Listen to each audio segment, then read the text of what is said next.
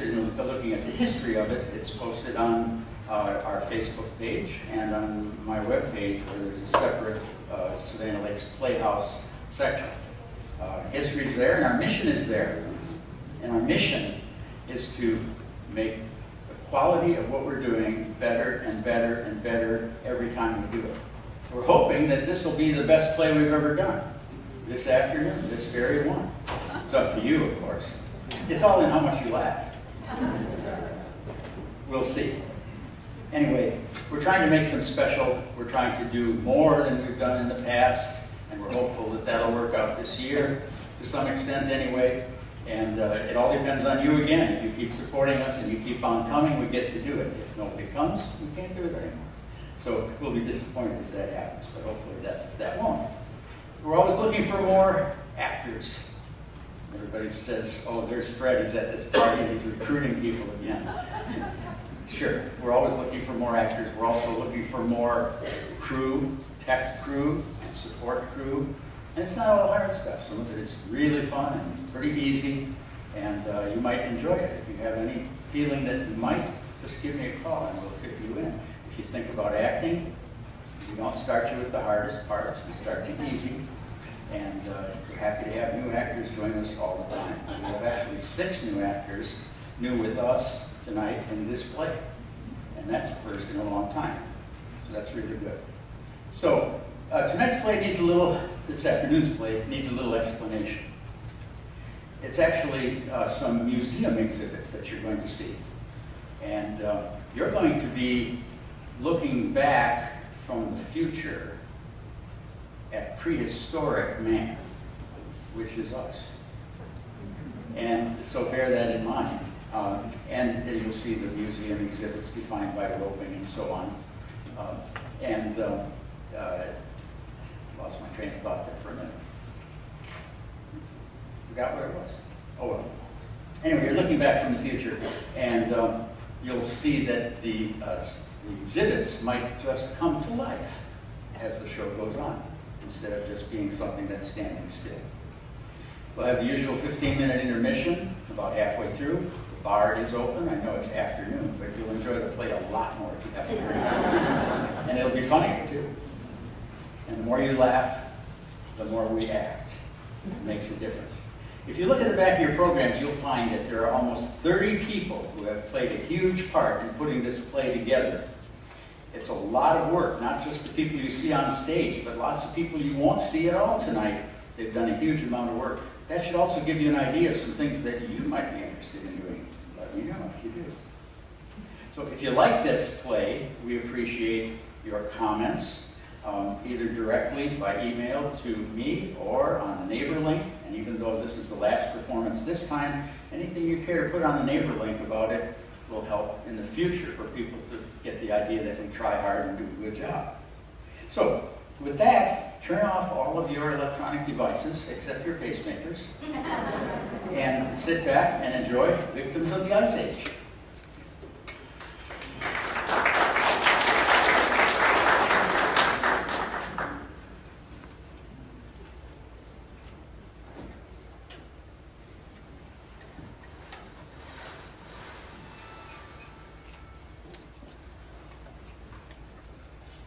Politicus erectus, the political upright man.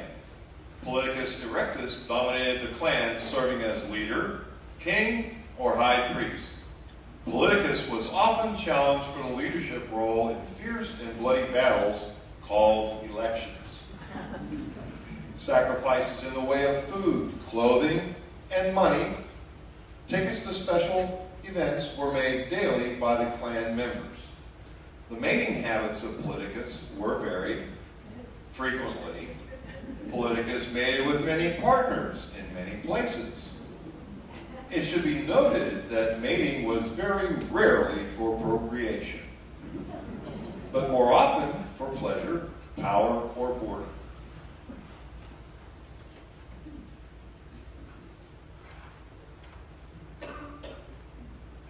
Anthrodebaticus, debating or arguing man.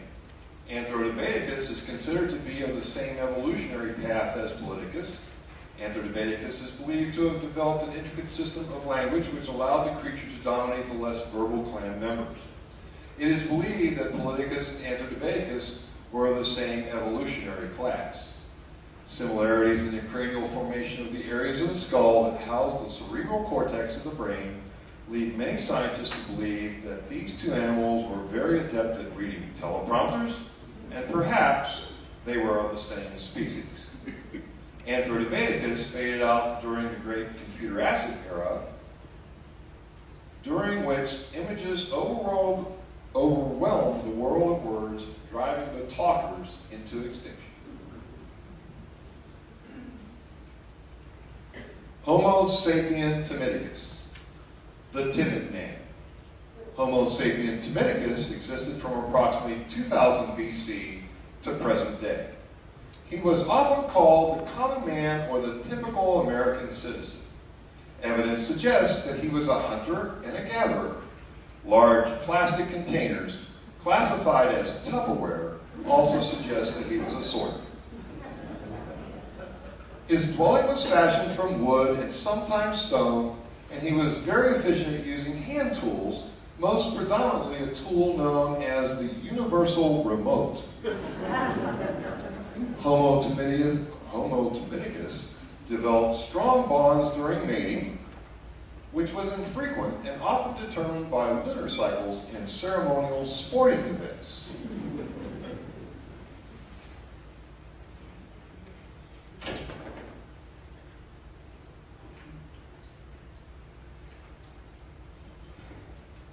Where's my people? What dear?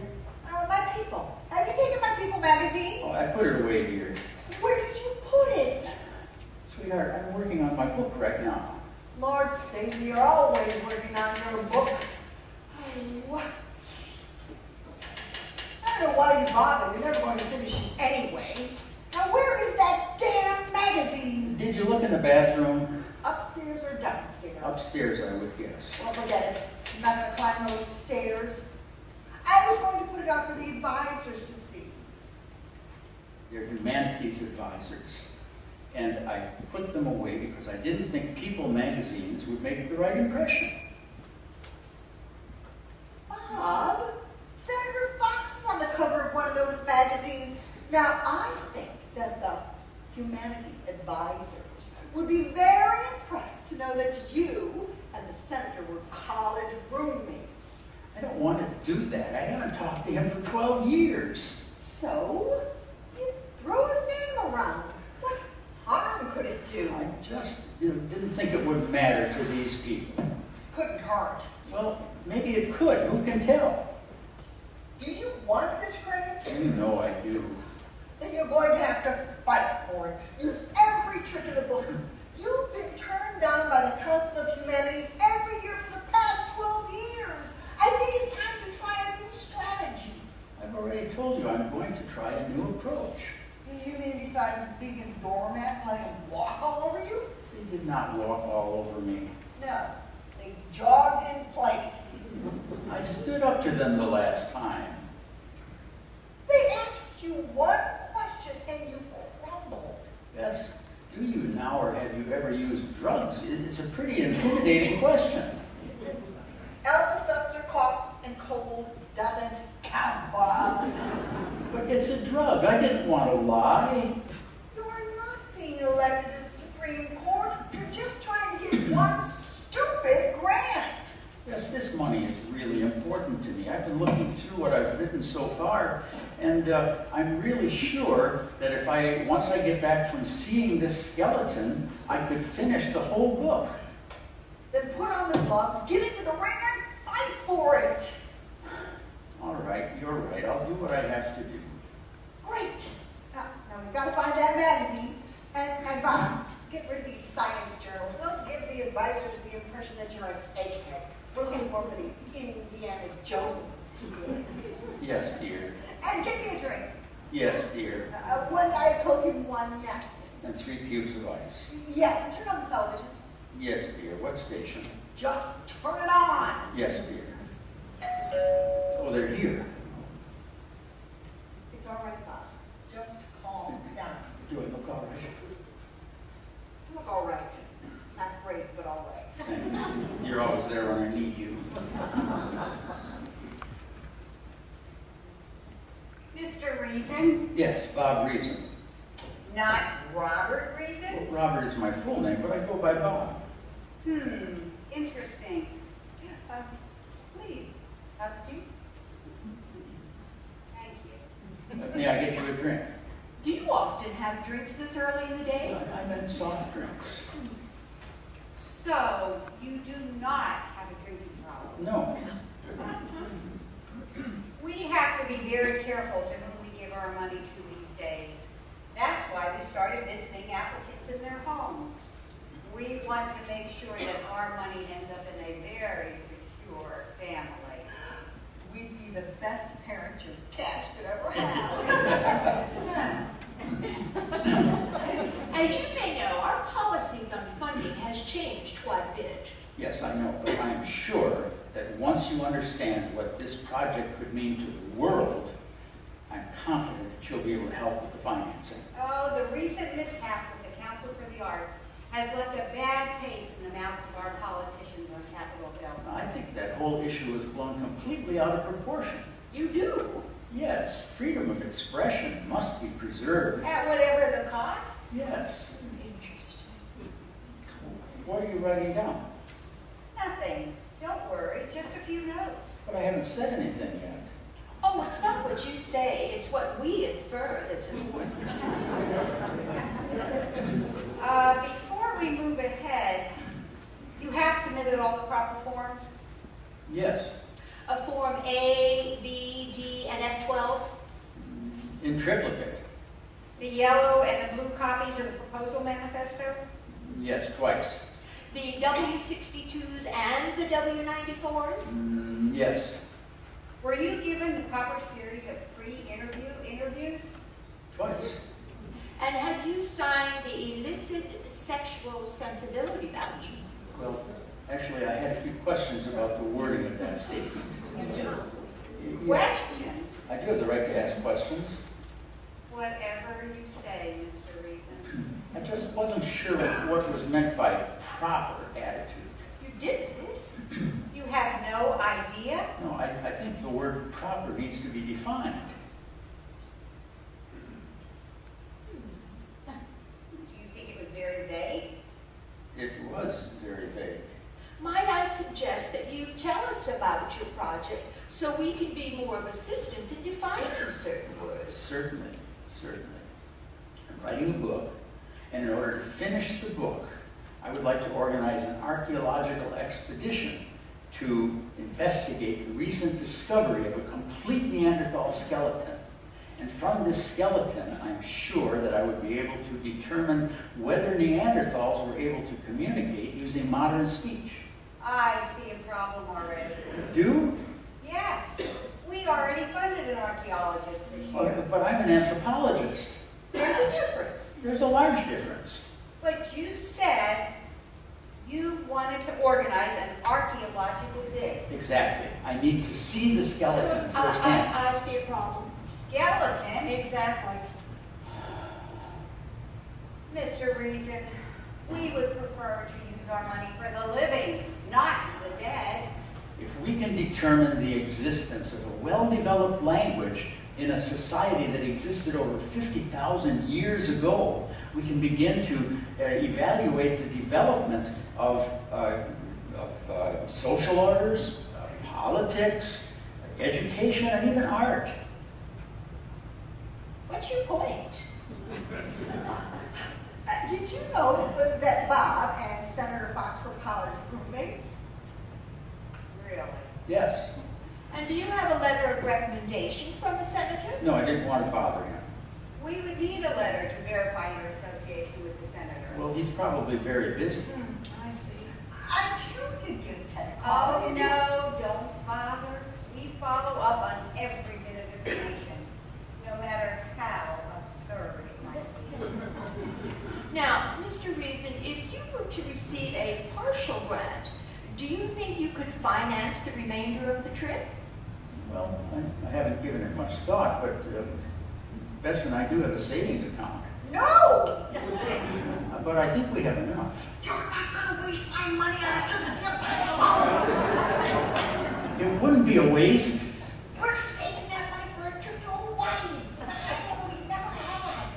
Well, fine, we'll take the honeymoon in Europe. I can go to the excavation site while you go sightseeing. Granted, we wouldn't be together, but we'd probably have a better time.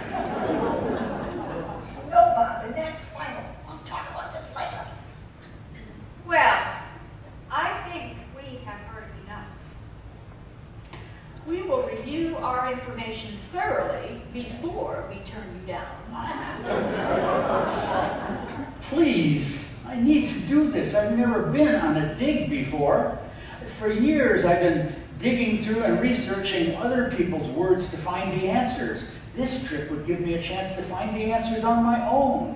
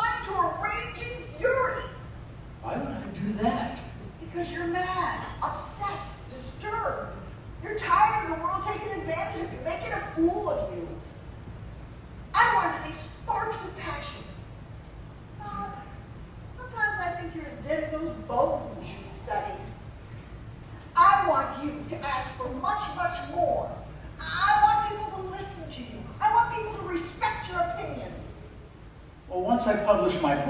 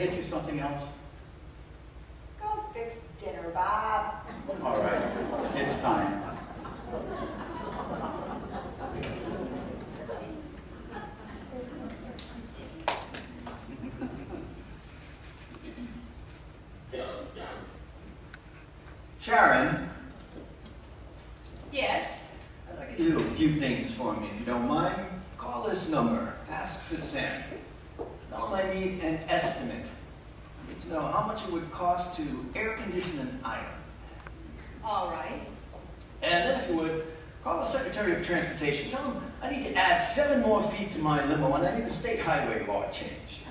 If he gives you any problem, mention his sister, Maria. And don't forget to call Bob Reason. I will. Oh yes, Senator, there's a man out there looking for you. He says his name is Smith. I asked for identification, but he just ignored me and continued to pick his teeth. Good tan, eye patch, funny accent. You know him? Send him.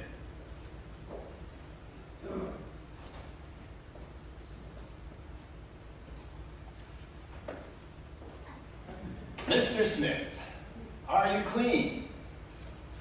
Plain as I get. Please, take a seat. I must admit, it's never a pleasure to see you again. It's always an honor, Senator. Now, Mr. Smith, I have a problem. Is my problem. Uh, if only that were true, I'd be a much happier man, but I'm afraid that this is a cross I must bear myself. Better, better to bear it than be nailed to it. Obviously, you've never entered into the political arena. The martyr always gains the most votes. Now, Mr. Smith, I was recently engaged in a heated debate on national television. I stole a TV just so I could see it. Then you know that my opponent, Michael Mike Meyer, told nothing but the truth. He absolutely destroyed my strategy. Now it appears I'm falling behind the man in the polls. And that's not good. My dear ignorant man, fall behind the polls only months before election day is a political catastrophe. You want me uh, to kill him? Please, Mr. Smith, the upholstery has ears. I prefer to use the word eliminate. I could make it very clean and quick. No, sir, I'd rather solve this little problem in a more dignified way. How about a lead pipe in a dark alley? Not exactly what I had in mind. It's not dignified, but it's effective. No, Mr. Smith, the best way to hurt a political adversary is to take away his votes, and that's exactly how I will bring Mike Meyer to his knees. I think it's time that I became the martyr. Senator, I'm not sure I'm following you. I'd be very surprised if you were. No, sir. The plan will be delivered to you by an anonymous source within the next week. Usual place? Usual time. I'll do what I can. That does not inspire much confidence. I hate to bring this up, but what about my payments? Go to the burger back on Fifth Street. Order a cheeseburger without any any meat and extra pickle. The money will be taped up under the top line. Will I see you again? I hope not. Good day, Mr. Smith.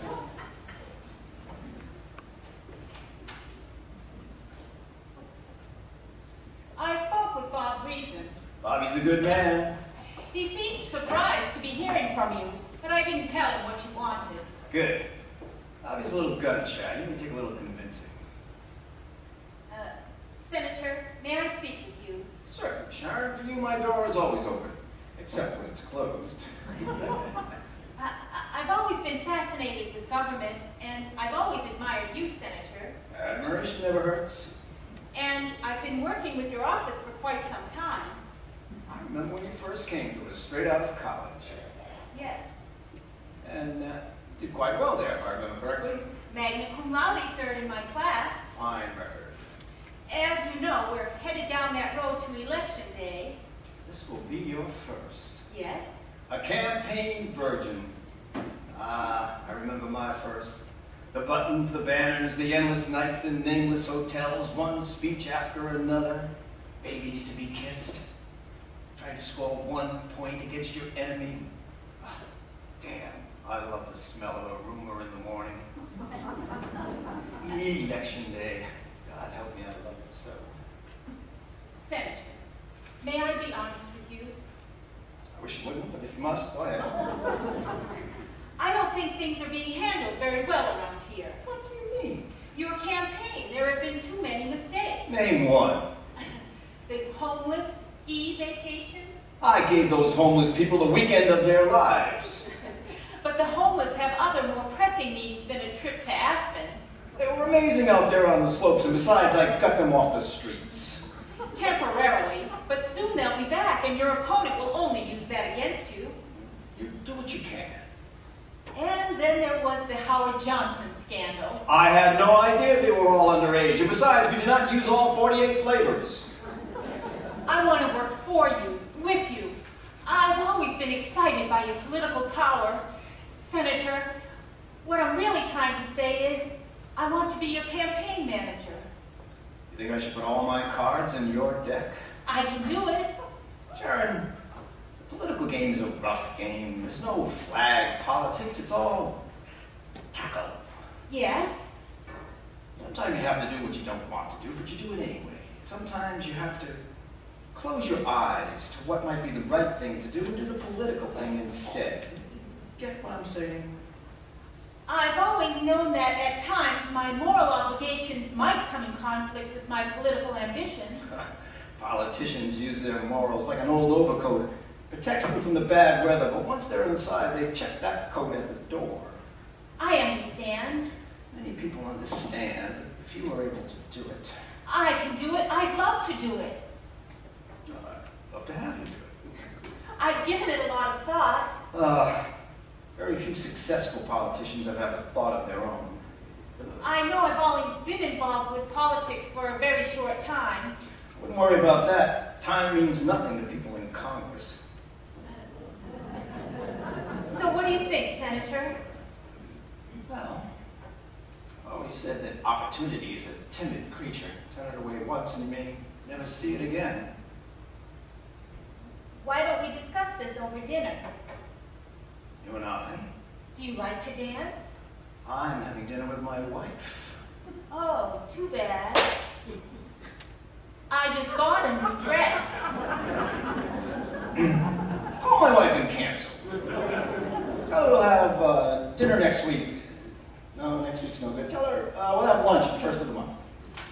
Uh, so we'll talk more at dinner? We can discuss these career plans of yours. I've always been interested in the nation's youth. Thank you, Senator. Oh, and Sharon. Just remember that if the shortest distance between two points is a straight line, then the longest distance is a straight line in opposite directions. Let's just hope that we never move in opposite directions. No worries, Senator. Don't forget to check into Bob Reason's life. Find out what he has and what he wants.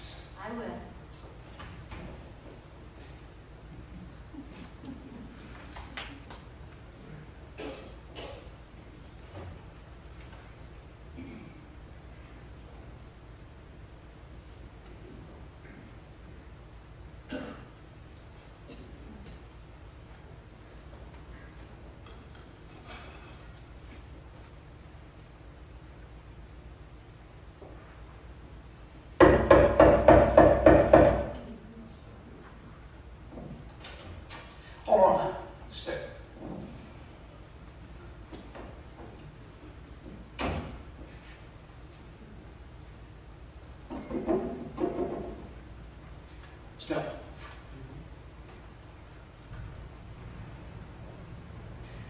Delta 59er, this is Ramrod.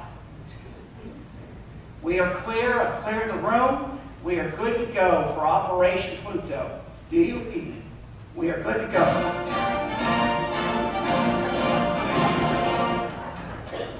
Bobby, it's been so long, too long. Yes, it has. How long has it been? Five, twenty, 12. 12, exactly. 12 long years. It's my campaign manager, Sharon Crane. We spoke over the phone? Yes, it's nice to meet you. I'm sorry we couldn't have given you more notice. Bobby doesn't care, do you? No.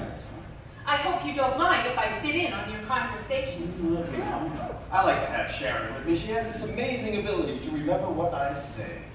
That's very important. I find that when it gets down to the final match, it's always wise to have the brightest of the bright in your corner, rubbing your shoulders, wiping the sweat from your brow, ready to cut that eye open when it's too swollen to see. He watched Rocky last night on cable. Oh, yes, it's a wonderful movie. So, uh, Bobby, where's the wife? Mary, Susan? Bess. Bess, exactly.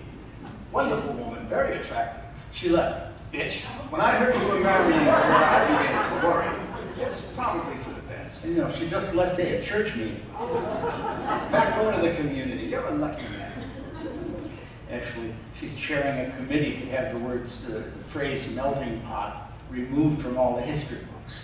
It's very reassuring to know that there are conscientious citizens always ready to help this great country. Well, actually, I don't agree with her, but then, of course, we differ on many issues. Last time I saw Betty, you and her were just starting to date. That was the summer. That was the summer after we graduated from college. Bobby and I were college roommates. At Tripoli State. Good old PSU. Yes, I'm a professor there now, Archaeology? anthropology. Ah, fascinating subject. I'm interested in why we do what we do, how it all began. Hmm, there have always been beginnings, haven't there? Yes. And endings. Too many endings. I get teary-eyed just thinking about it. If we could learn to understand the past, maybe we could save the future.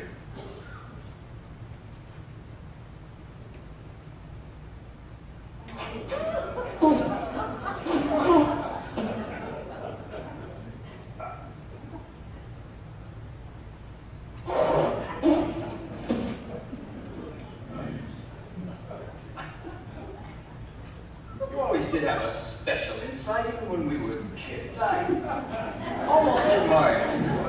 Thank you.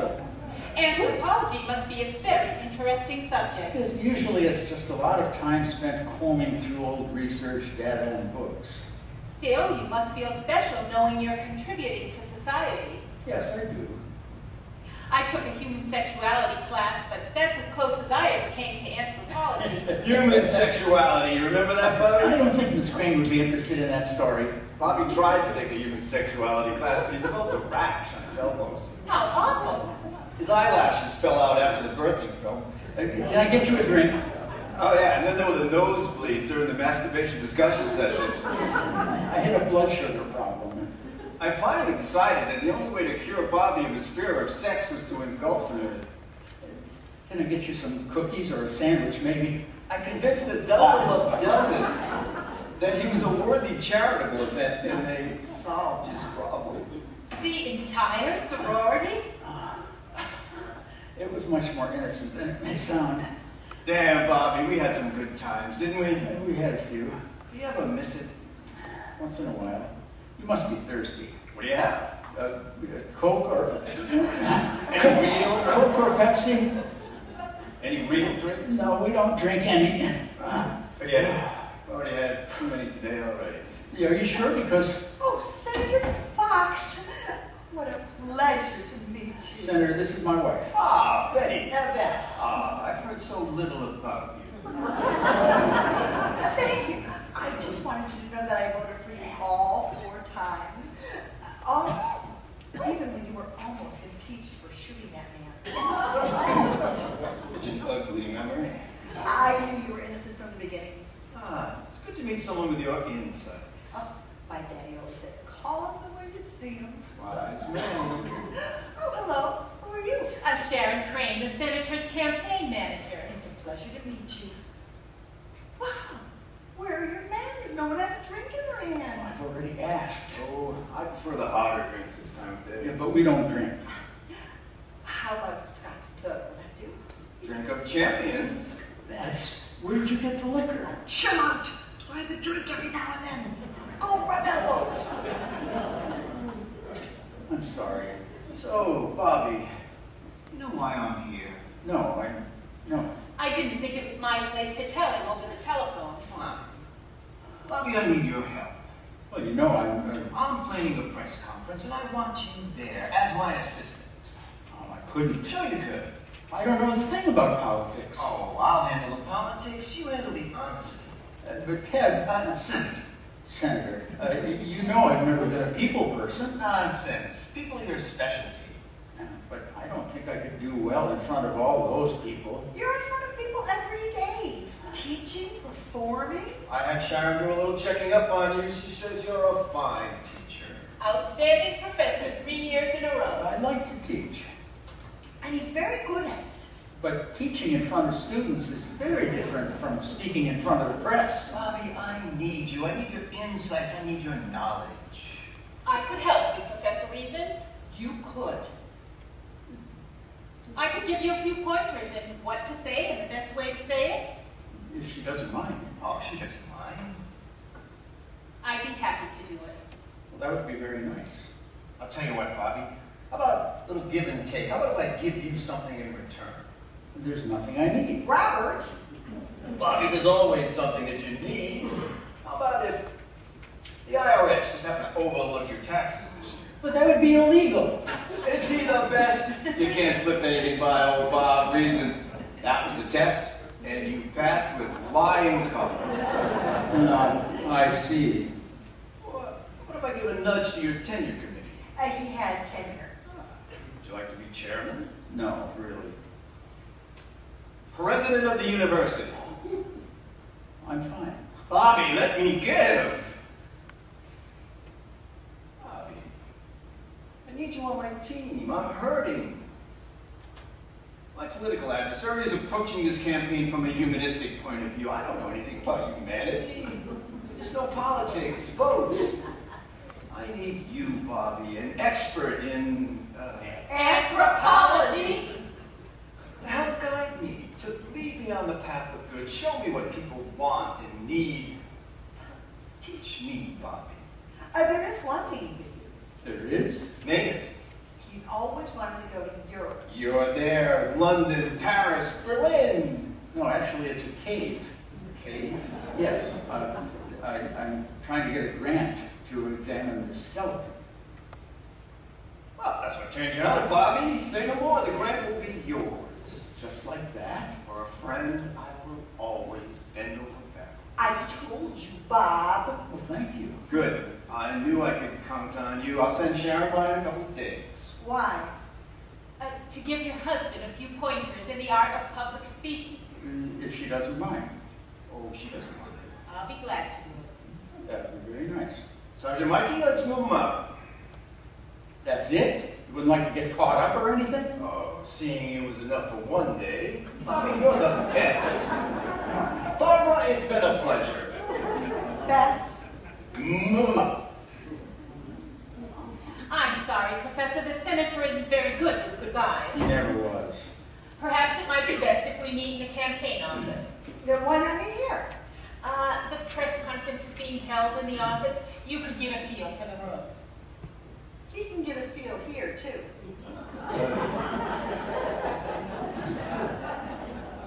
Bess, I think it might be better if we were alone. Um, not all alone, but alone for the time we're together, uh, because then I wouldn't be nervous with you being there and seeing me, talking to all those people. Whatever. Great. It, it's just, I, I didn't want us to be distracted, because, not that you would distract us, Bess, but Shut up, Bob. So it's set. it'll be very nice. Goodbye. Yes, goodbye.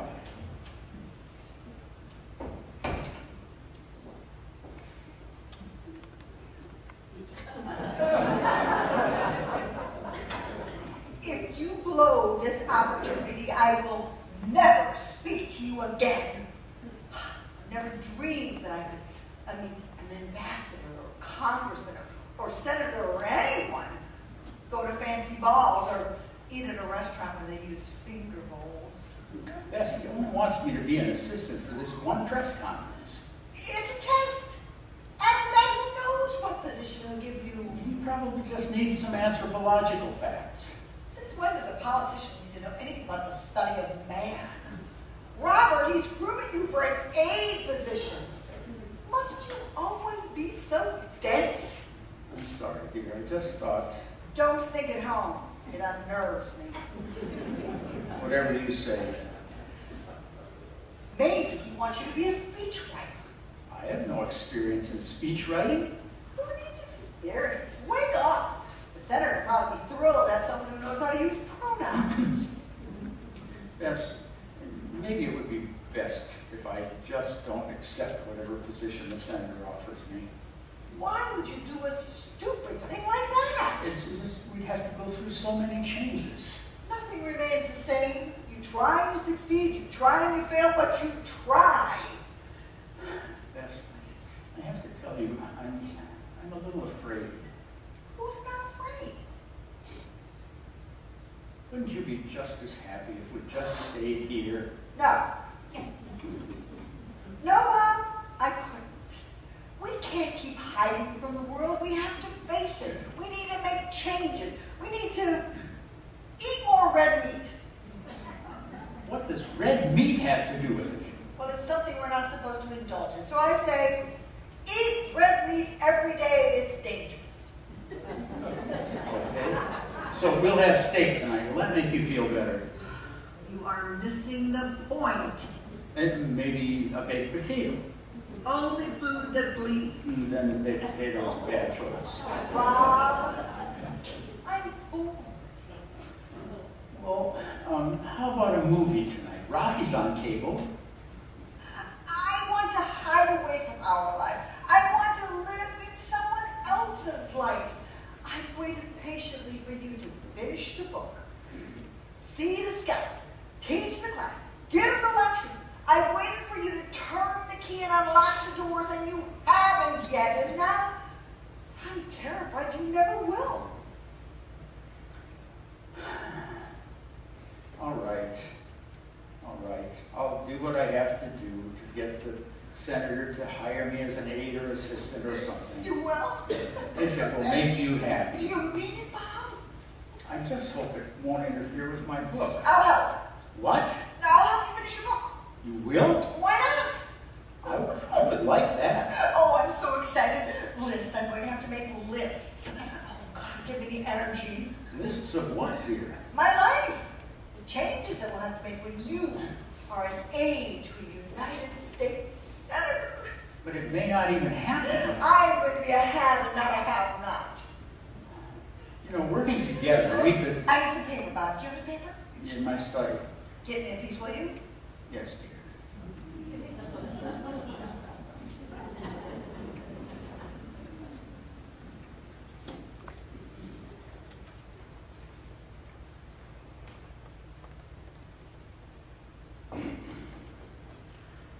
Today, in the political arena, Michael Mitemeyer has taken a large lead over incumbent Senator Ted Fox. Mr. Mitemeyer moved up in the polls after it was leaked to the media that there is damaging information concerning Senator Fox. The senator's only comment about the rumor was, I'll burn that bridge when I get to it.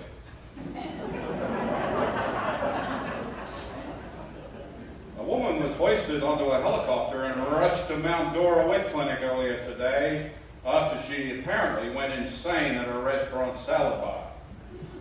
Officials have put out a warning to other restaurant owners and food merchants that they can be held accountable for the safety of their customers when displaying an all-you-can-eat sign. We'll have more news after a message from our sponsors. All right, Professor, I'll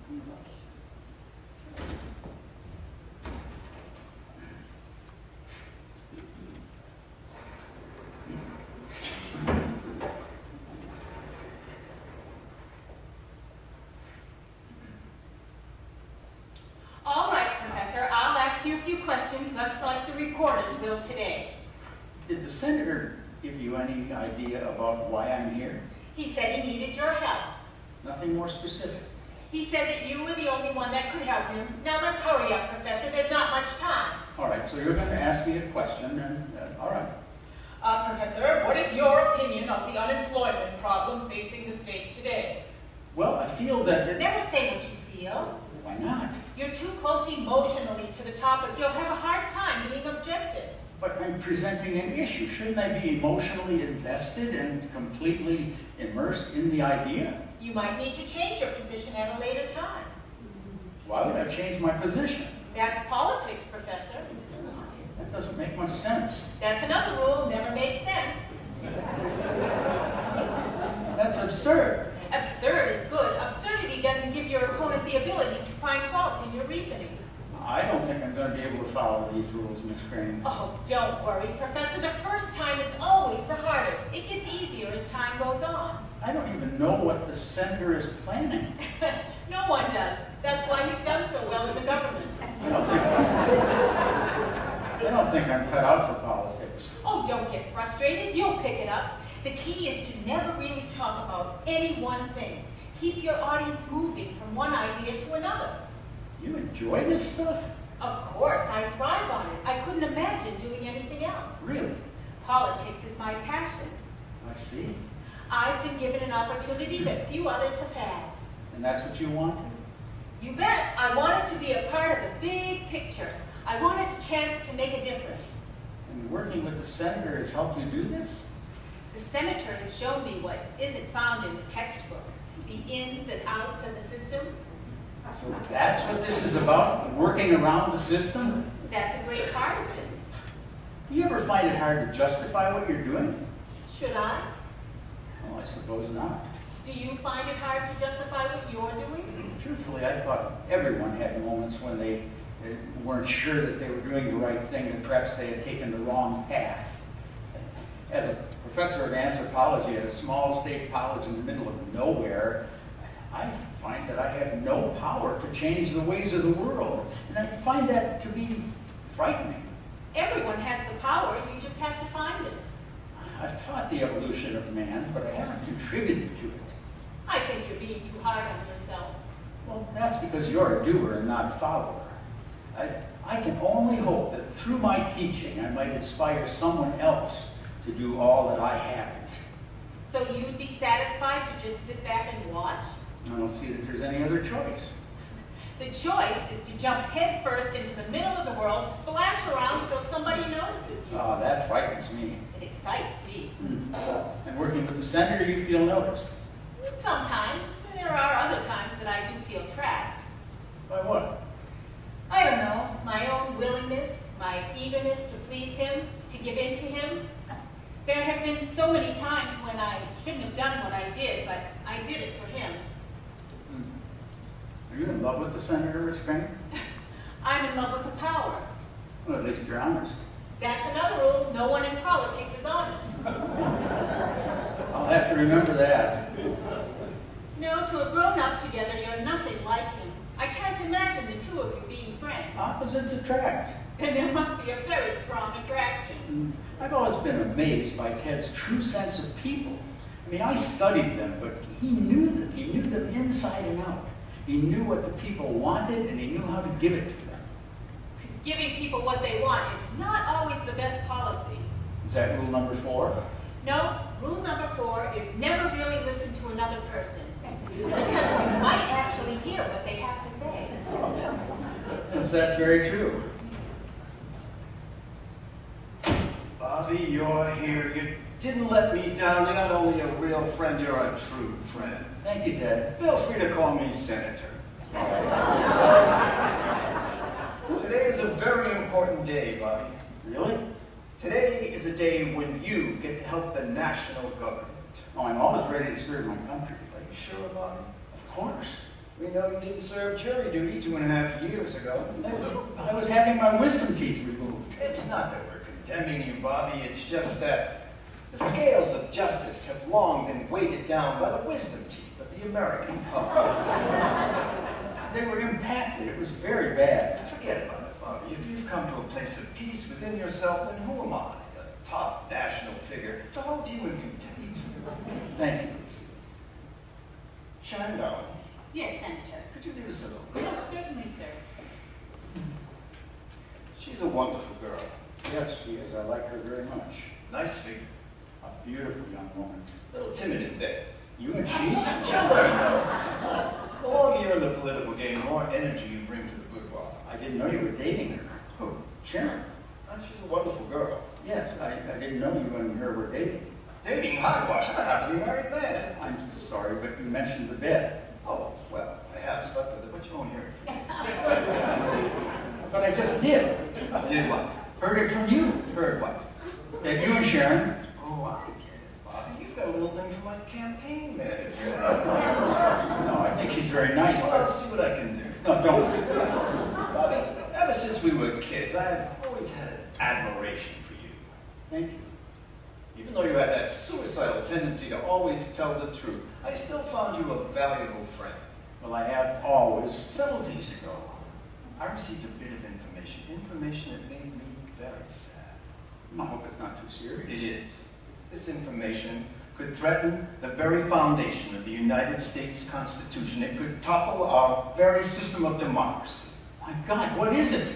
Someone has accused me of plagiarizing my college thesis. Your college thesis? Someone supposedly have proof that I gained my degree by cheating by copying the paper of a fellow student. Is it true? That's not the point, Bobby. Whether it's true or not is just a surface.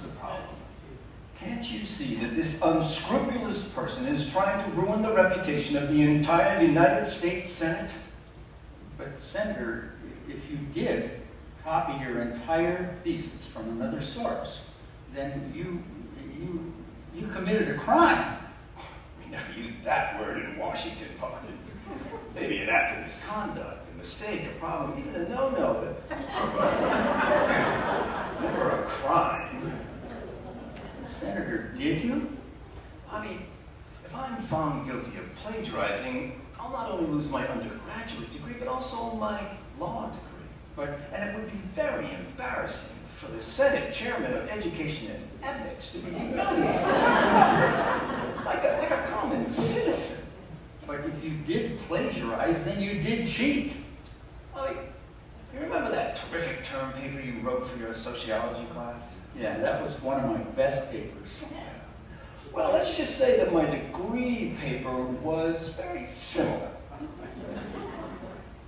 You copied my paper? Oh, I didn't say that, but someone else might, very soon. You used my hard work to earn your degree? Bobby, who got you your first date? Who got you drunk for the first time? What about those deltas? I cannot believe you did this to me. Don't take it so personally. But you stole my words, my thoughts. I didn't have any thoughts of my own. I had a very busy social life. No, no, Bobby. If someone does have proof that I did plagiarize my thesis, then my entire reputation could be ruined beyond control. So, so what do you want me to do? I want you to tell the press that you copied my thesis. Oh. What? You want me to tell the world that I cheated when I didn't? I'll tell the world. You just nod your head.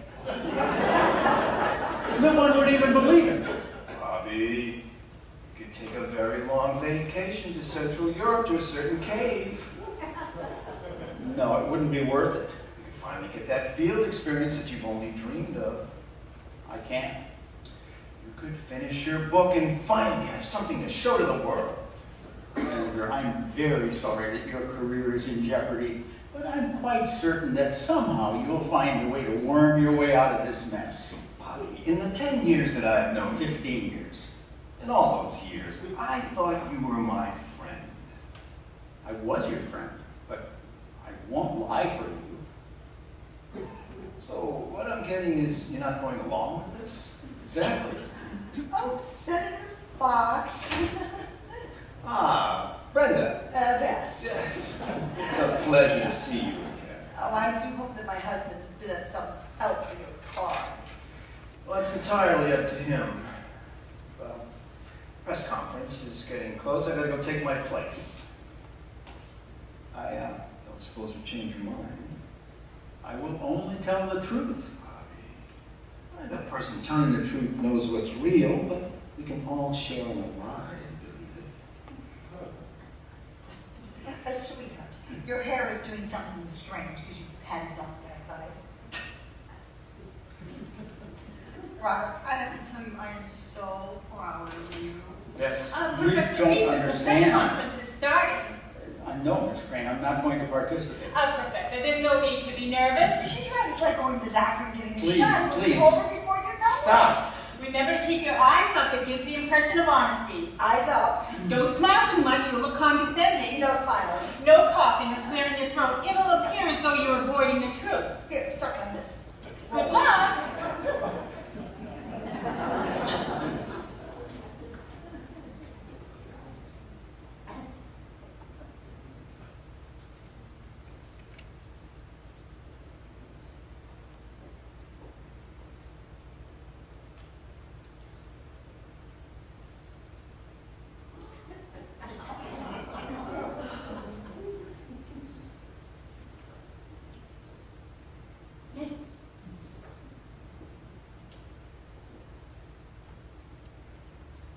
Senator, how could you do that to him?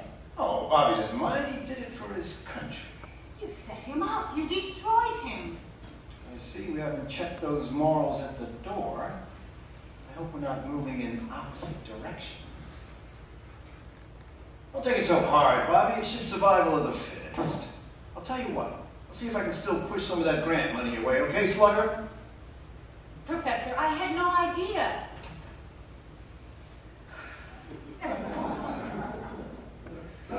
I suppose after People magazine gets a hold of this little bombshell, I'll have to dye my hair, have plastic surgery, change my name, and move below ground. Just pack up your jawbones and your broken pieces of pottery and your pictureless books and get the hell out of my life. Better yet, I'll get the hell out. It would take you entirely too long.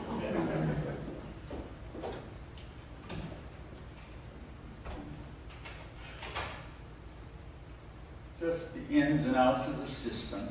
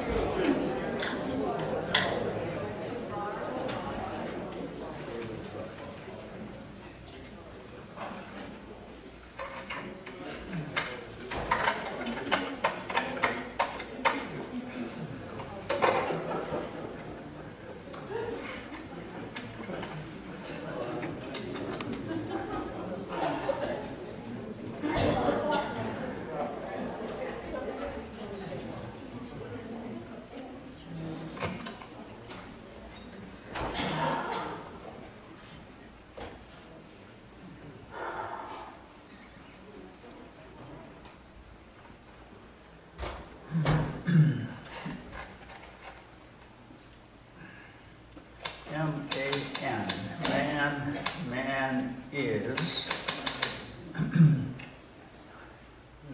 man, man, man, primitive, man,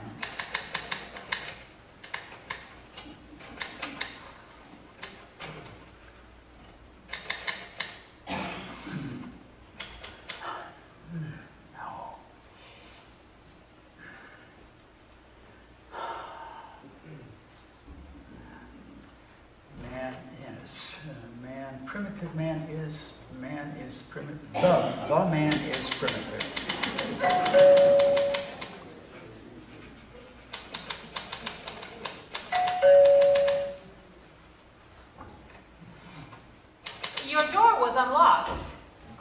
I'm eating dinner.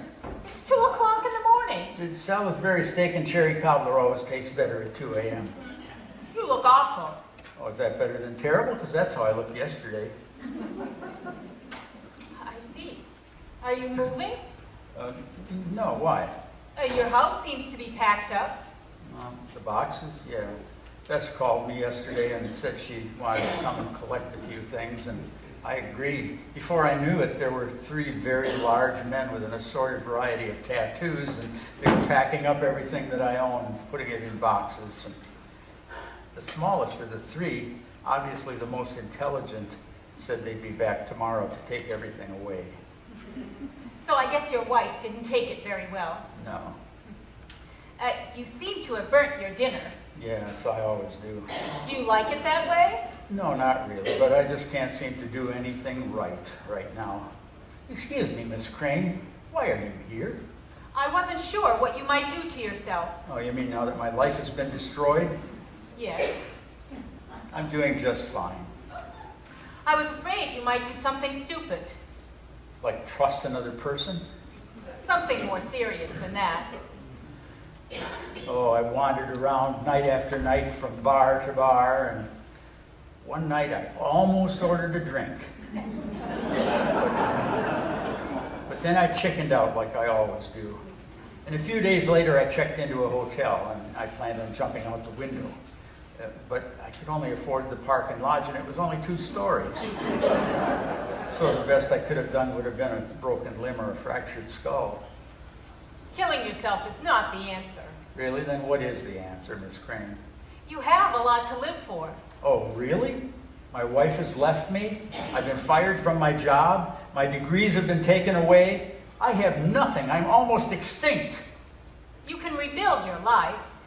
Why would I want to rebuild my life? This life? I sit in this house staring at boxes of old bones, bones of men long dead and forgotten. Their, their faces are gone, their minds have stopped thinking, their souls have fled this existence. And I sit here staring at their bones, trying to figure out what they were thinking, why they were thinking. And by knowing their thoughts, you can help change ours. Can we change? Has there been any progress toward a less violent system of society in 300,000 years? No. Has, we've developed religion, art, industry, and innovation. Have any of these things altered our basic genetic order to survive at whatever the cost? Has man learned from his forefathers how to stop the anger and deceit? No. What we have learned is the ability to hide the truth, and we call it politics. And our good and just system of politics doesn't behead its victims with an axe anymore. Oh no. The victim is beheaded with accusation and rumor. And then our modern government decides who's needed and who isn't. And then by trumpeting the media, they condemn those poor souls to their deaths. The Neanderthals may have died out, but that makes them the lucky ones. We are the true victims of the Ice Age. Fight back, Professor. I could fight back if it were just a sense of guilt, but I feel a deep stabbing shame, and shame can never be overcome. You didn't cheat. You have no reason to be ashamed. Miss Crane, my life is over. In the eyes of the world, I'm a cheat and a liar, and those two things will keep me down. Unless you go into politics yourself.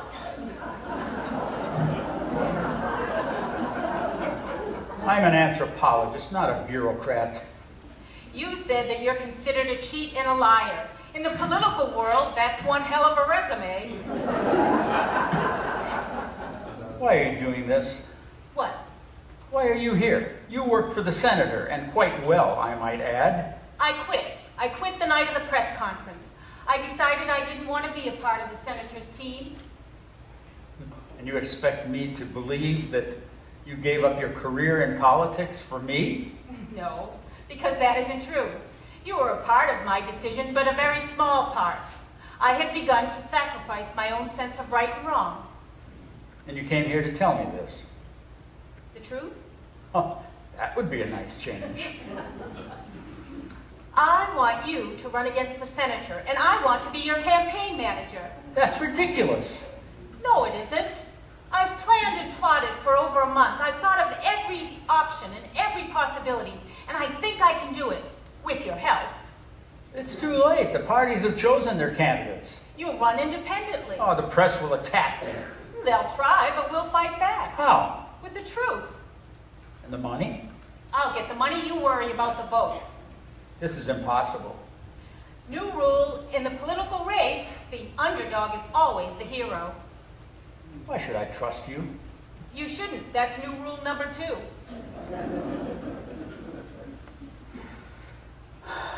It might be far fetched, but so is life. I just can't see. It, it no. You I- want to finish your book? Are you close to finishing? Yeah, I'm close to finishing, I think, but uh, no. Uh, well, yes, I think. Well, then why don't you just do it? Type the final pages. Just type the final pages? Like it's so simple? Damn, that really pisses me off. Just type the final pages like, the, like they're just sitting there in the dark and dusty corners of my brain waiting to be typed? Listen, lady, writers have to do research. I've had to experience life and death and love and hate and everything. And you can't just sit down and write out a book. If it was so simple, why doesn't everybody do it? Let me ask you that, huh? Why don't you sit down and hammer out a book? I have. A book? Yes. A whole big book? And I did the illustrations. Excuse me, I'm going to take a shower with my blow dryer now. Professor, if you are looking for life experience, then I'm offering it to you. The chance of a lifetime for an anthropologist, you will observe the human animal from the inside. You will participate in the ultimate experiment in communication. Your field research will become your life. Think about it, Professor. Ms. Crane, Senator told me that you and he, uh, well, that you and he had. uh, Yes, we did. I see. Now I'm embarrassed, so I'll leave. I'm sorry I came here. I didn't mean to bother you. You didn't. You know, Professor, whether you believe me or not, I was horrified when I saw what the senator did to you that night. To watch a man be torn apart changed me deep down inside. And I'm very sorry that I did nothing. Every minute of every day, I remember how I stood there and watched, too afraid for my own political career, too afraid to shout the truth. When I came here tonight, I was hoping that you would allow me to help you rebuild your life using what I know, and that in return you would teach me about the, that truth. Ms. Crane, you really don't have to be embarrassed about your relationship with the senator. There was no relationship. That's what I'm embarrassed about. So what are your plans now? My plans are to get you to run against the senator. So I'm going to go home and figure out how I can do that. There are plenty of much more qualified people than myself. But there is no one with more of a need to beat him at his own game. Good point. And there is no one with as much integrity as you. I wouldn't be too sure. And there's no one who needs me as much as you do. And truthfully, needed is what I really want to be. I don't know. Ms. Crane, I think I have a turkey and dressing TV dinner in the freezer. It's yours if you want it. Rare, not well done. I won't even thaw it out. You can suck on it like a popsicle. Then it's a go? It's a maybe. He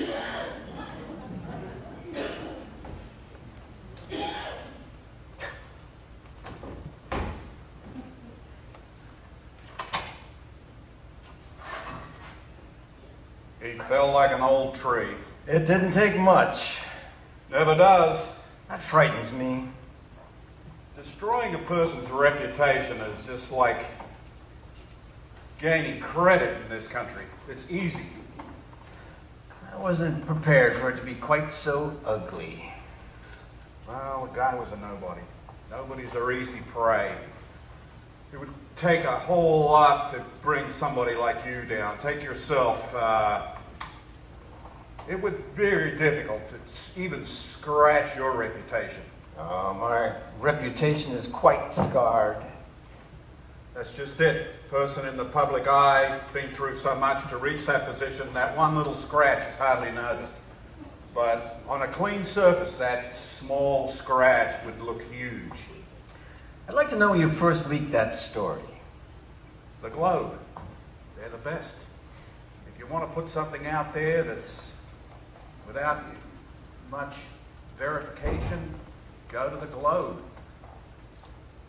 They'd publish my shoe size if they thought it would sell papers. you should have seen their reporter when I mentioned that there was a cheating scandal involving Senator Fox. He was clearing his mantle for his Pulitzer. I see. When you fed me that bogus story after the television, that was a bonus. It was very effective, that television coverage. I've got to give it to you. That bogus story about the term paper. I couldn't figure out why you'd want to hurt yourself, but then I saw the uh, press conference. I'll tell you something, Senator. People don't think politicians have brains, but now I know differently. I must admit, Mr. Smith, a compliment from you means nothing to me. Thank you, Senator. Now, now let's talk business. Would you like me to finish this college teacher off? Actually, I want you to spread a rumor that Robert Reason is an innocent man. I want you to create a witness that saw me steal his term paper. Wait. You want me to find a witness that'll accuse you of lying? Exactly. Why would I undo the rumor that I spent so much time to do? Because I told you so. You might be pushing this thing a bit too far, Senator. Mr. Smith, where would America be today if our forefathers had not pushed too far? I'll tell you where we'd be. We'd still be sitting on Plymouth Rock, freezing our butts off, wondering if there was land beyond the tree line. Now get out there and spread some lies for your country. Senator, I won't let you down.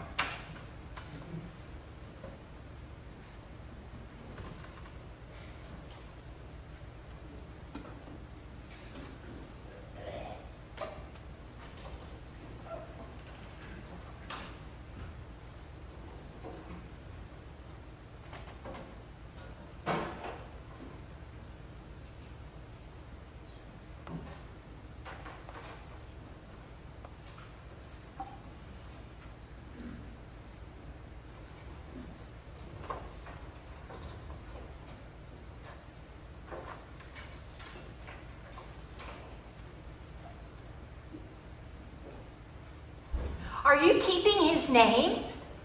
I wouldn't. I'm not sure. Repercussions, always consider the repercussions. There's always those people that might look down on you. Oh, for heaven's sake, Cynthia Pitt, must you be so crass? The truth is often rude.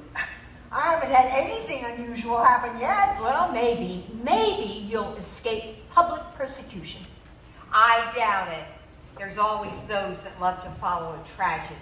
And that disgusts me. Of course, I'd stop to watch a wreck on the highway, but I certainly wouldn't follow the ambulance to the hospital. I only did that once, and I swore never again. I'm hoping to just live my life. That's all any of us can ask for. Of course, most of us aren't married and have a criminal for a husband. Bob is not a criminal. Yet. You left him, didn't you? I left him because I didn't know. Bess, please don't try to hide the truth. We're your friends.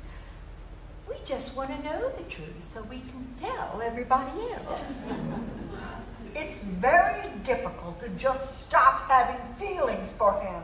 Oh, same old thing. Devoted wife brutalized by cold-hearted husband. Bob was never cold. Oh, on the surface, no. Below the skin, icicles.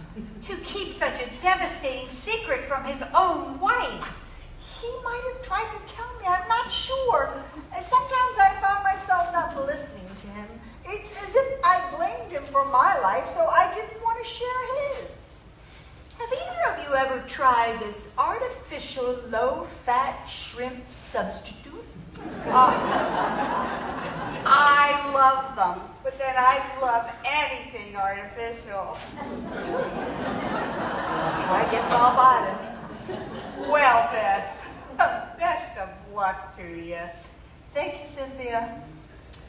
If you need anything, feel free to call me. After 8 o'clock in the morning, but before 10.30, that's when my soaps start. And after 7.15 at night, but please before 7.45. Jim and I like to have sex before the sitcoms start. or we could have coffee, but that would have to be next week. Oh, oh well, I'm always there if you need me.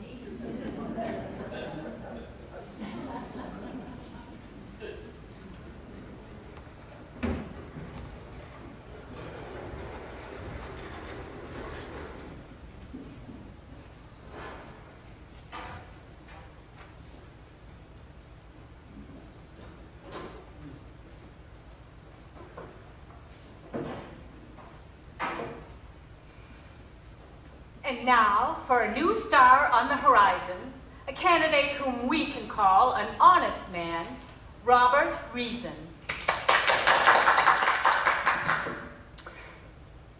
Ladies and gentlemen,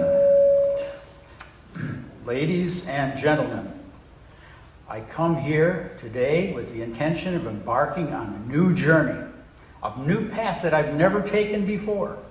I will travel through the confused road and highway, uh, the roads and highways that we call life. I stand before you confident that I can lead you to a new tomorrow. For all men and women, A, a tomorrow where all men and women may walk hand in hand, regardless of color or nationality. where the children, The children of today will be cared for for- by the government so that their mothers can return to the workforce. If they choose, If if, if they choose what? if they choose to return to the workforce, Uh, yes, if the mothers choose, if they choose to return to the workforce, they have a choice. Uh, that is, to return, uh, if they want to, return, that is. traditional values, Traditional values insist that they return. no. No, traditional values do not insist that they return. On the contrary, tradition insists that these women, mothers, stay at home and take care of their children. A choice, they have a choice. A choice. So you see, in the world of tomorrow, women have a choice to do whatever they want. They can return to the workforce, or if they choose to stay home, that's just fine with me. We're in trouble. Uh, So if these women are in trouble, then they must start thinking about what they want to do. No, the women aren't in trouble, we are. What the hell is he saying? Uh, he is saying- Not you. What is he saying? I'm saying that Uh, that you're an idiot. What do you know about our problems? nothing. That's just what we need. Another, Another politician politician that that knows knows nothing. I know very little about daycare. I know very little about tax reform. And I don't know a thing about how our government works. But I do know about history the history of the past and the history of the future. Our problems are not solved by money or by legislature, but by people. People fighting for change. Man started out in the trees, eating fruit and leaves. And uh, he was afraid to venture out into the world until he was forced to by hunger. The fruit was becoming scarce, and the only source of nutrition lay beyond the trees. So early man stood up and walked out into the open to find the food. And he did. But with this new freedom came problems. Without the jungle, the man needed shelter to protect him and clothing. And he needed tools to build and weapons to hunt. He needed words to communicate and art to help him find his place in this vast universe. So it became human to need and human to take what we need. So in the future, we can keep on needing and we can keep on taking what we need, or we can find those who need and give to them. And by giving, we might just receive a little bit more than by taking instead. Thank you.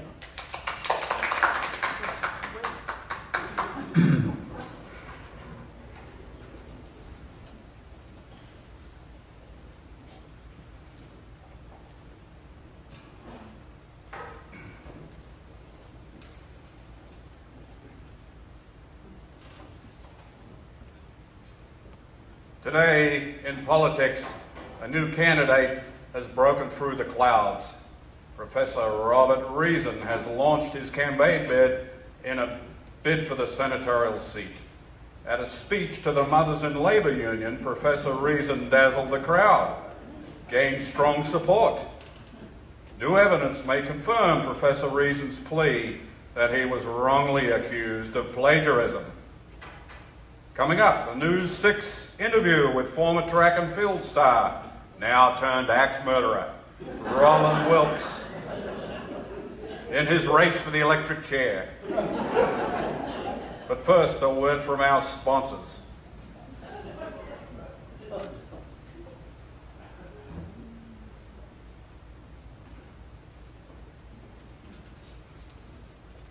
You must be so proud. Proud as a peacock. I'm stunned more than anything. He's such a talented man Very talented. and almost good looking. True. I never realized how attractive Bob really is. But obviously you knew that all along. You married him. I always thought Bob was interesting looking. How does he feel about all this power? Well, to tell you the truth, I haven't spoken to him in over two months. two months? For heaven's sakes, why? I threw him out of the house. No! You told me to. Oh, times change. That was when he was a cheat and a liar. Now he's a candidate for a high government office. Well, I'm not sure he'd even speak to me. A politician needs the support of a wife, a strong wife. It's your duty, your patriotic duty. I'm not sure that he still loves me. That doesn't matter. I'm not sure that I still love him. You're his wife. He'll take you with or without the love. Do it for your country. God bless America.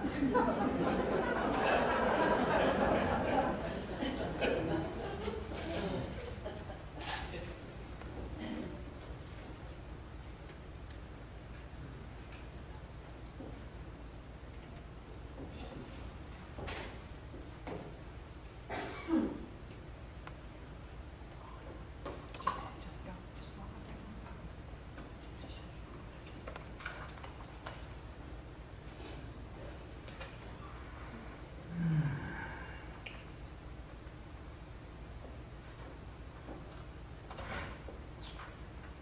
Bob, it's good to see you. Oh, I'm glad you think so. Professor Reason, Dick Webster, attorney for your beautiful wife. I hope we can make this. I hope we can make this not a lengthy court battle. That shouldn't be a problem. I want to keep this as quiet as possible. Divorce is a nasty companion to take into the voter's box, if you know what I mean. Can we move this along, please? What's the hurry? You got some other wife in the waiting in the wings? The house looks so different without the furniture and the pictures and everything. Great. I see you have no children. No, We tried. but no luck. It's better, believe me. No children, no problems. We had names picked out. More names for girls than for boys. Girls, tell me about it. I got seven of them. Three from my first, two from my second, one from my fourth, and one from my sixth. none from none from my third and fifth. Not from me, anyway. Uh, but we're here to talk about you, not me. Yes. Uh, let's see. Uh, one house, no more. What do you mean? Well, is this the only house? Only? Uh, most people have two or three. We just have the one. Okay. Uh, pity. One house, two people, someone loses. She can have the house. Wait a minute. Statements like that she can have, I take very seriously. She put all the work into making it a home. She can have it. Thank you, Bob. House, ours. Two cars. A Buick and a station wagon. Mrs. Reason has first pick. Which would you prefer, Bob? No, no, no, you're being too nice. Yellow scream, none of this nice stuff. I don't want to scream. You're getting a divorce, right? Yes? And you're hating for it. Well, we just got along, but but he humiliated me on national television. But maybe not hate. Are you sure you want, you both want this divorce? Yes. Uh, well, maybe. Uh, no. Um, I think. I don't know. Maybe. Almost definitely. Tell you what I'm going to do. I'm going to step outside for a minute or five and uh, give you two time alone to remember why you can't stand each other. Just take your time. Now remember, my time, your time is my money. Now, I'm going to step out for a little bit. Is there a pub nearby? no. So, uh, well, make it quick because I get crazy when I get dry.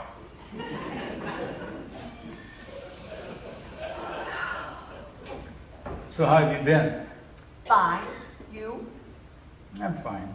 No, it wasn't so good the first month, but uh, after I decided to run for office, I felt better. I was very impressed. Really? It took a lot of courage to turn the tables the way you did. I didn't know you had it in you. I had help. A woman? Sharon Crane. She's very pretty. Yes, she is. I see. I'm sorry I wasn't there for you beside you, Don't worry about it. but I do. You needed someone, and, and I ran away. I was just so scared. It was seeing you there in front of millions, beaten to the ground.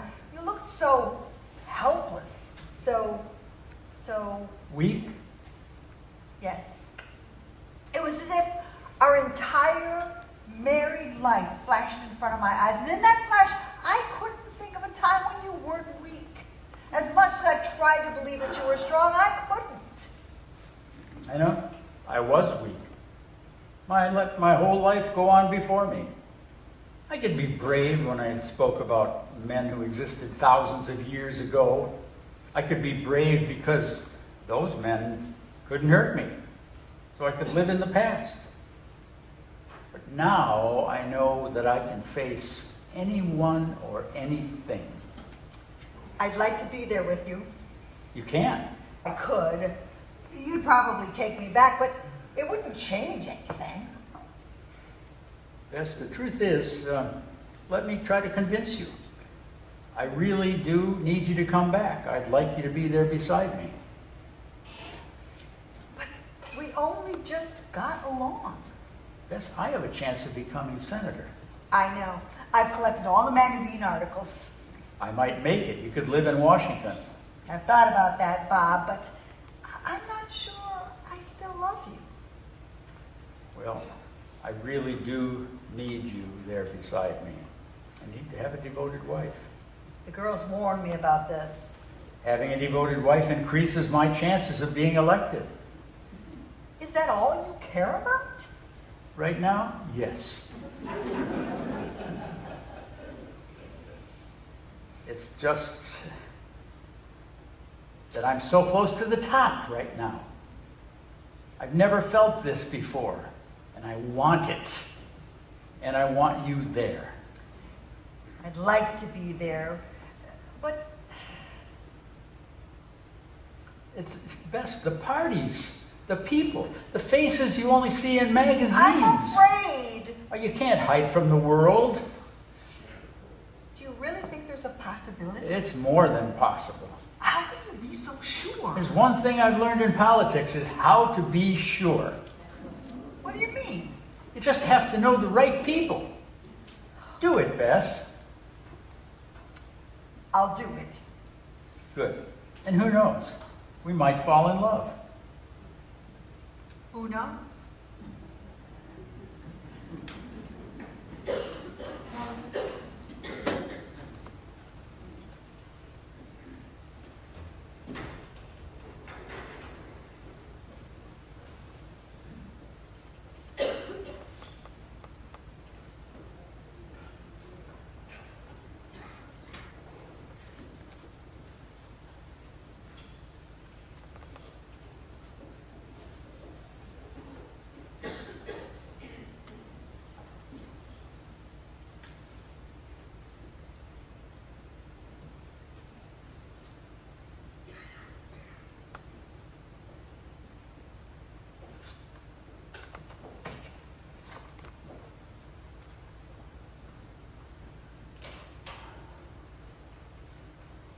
The United States of America, a fine country, a big country, and big countries have many people.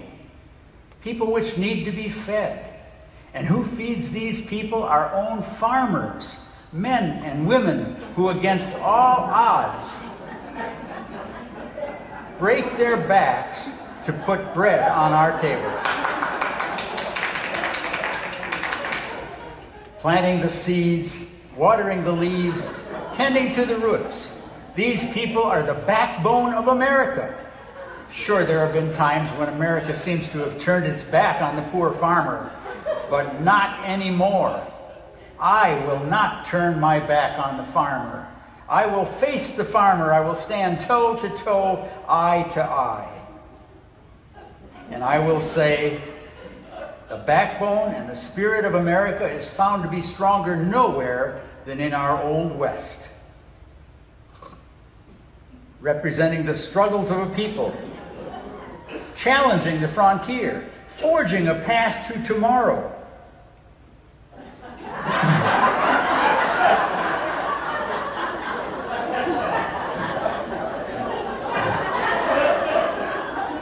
And who are these people fighting to create an oasis in the miles and miles of dust and tumbleweeds? The ranchers.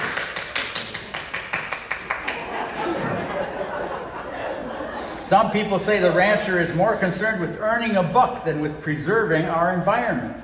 Well, who wouldn't be? How can we expect the men and women who do this to drive cattle thousands of miles to put steak on our gas grills if they can't tread over a little grass and knock down a few trees? Can the struggling rancher be concerned with eroding grasslands and deteriorating scenic wonders? We,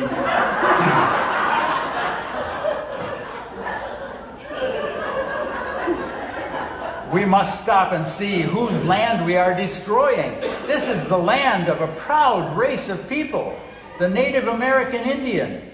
Strong, brave, and free. Well, if not completely free, darn close. If elected, I will venture out into the country. I will see for myself what life on the reservations is like. I will go to the uh, casinos and spend a couple of dollars to support this cause. Have we done enough for these people? When I think of the Indians, I think of a time when the arrow did the talking. Piece of cake. I think of those savages attacking wagon train after wagon train, killing the men, and yes, molesting the women. But now, ladies, you are safe from the wild men.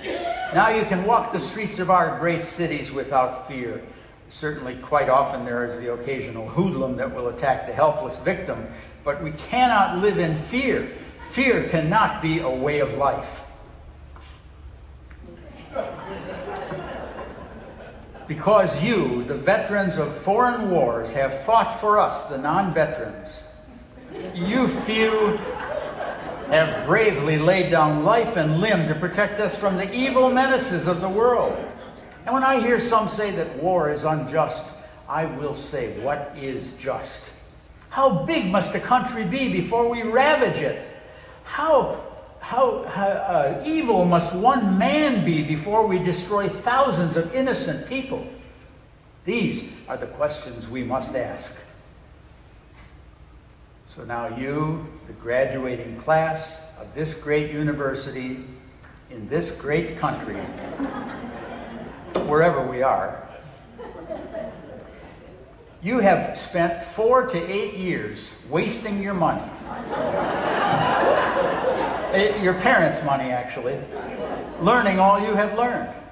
You and only you have earned the right to wear the square cardboard hat with the silly fringe.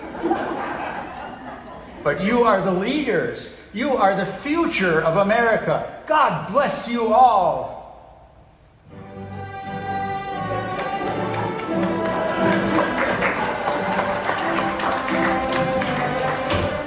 Bob, I have to speak to you about what you've been saying. What, too specific?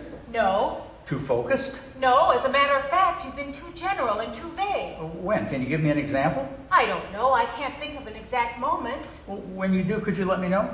Uh, Bob, hurry up. We've got the JCs at 8, the Shriners at 9.15, and we've got to get a bite to eat somewhere in between. Professor, have you heard anything I've been telling you for the past two weeks? Uh, uh, No, uh, Sharon, I've got to get to the hotel. Uh, Maybe we could talk more tomorrow, Tomorrow? uh, over breakfast or coffee? Do you really believe anything you've been saying? I don't know, I haven't been listening. Well, if you won't even listen to yourself, who do you think will? Uh, Coffee tomorrow?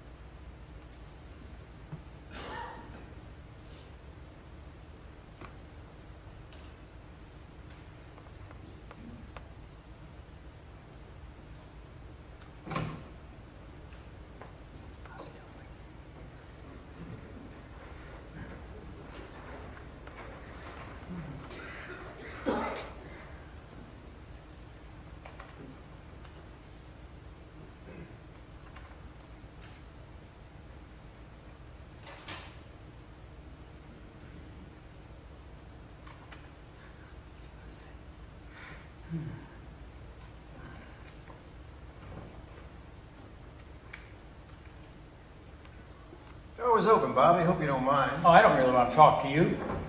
Afraid to be seen talking to the enemy? Something like that. Uh, don't worry, Bobby. It's not like I'll learn something I don't already know. One never knows. Oh, I can. I don't hire a staff of spies and detectives to do nothing. I know everything you do and say. I know what you had for breakfast in the morning. I know what you have before you go to bed at night. I could have you arrested. For what? Invasion of privacy. Prove it. You just told me. Hearsay. You have a staff of spies. How do you know? You just told me. Hearsay. This is unbelievable. Come on, Bobby. I thought you'd have learned by now. You never go to bed with both eyes shut. You never let one single vote slip away. I thought you would have learned by now. How are you going to win this debate tonight if you don't know what I had for snacks last night? A whole bag of pork rinds and a can of beer. Well, I'm so proud I could just about bust. Should I take that as an insult?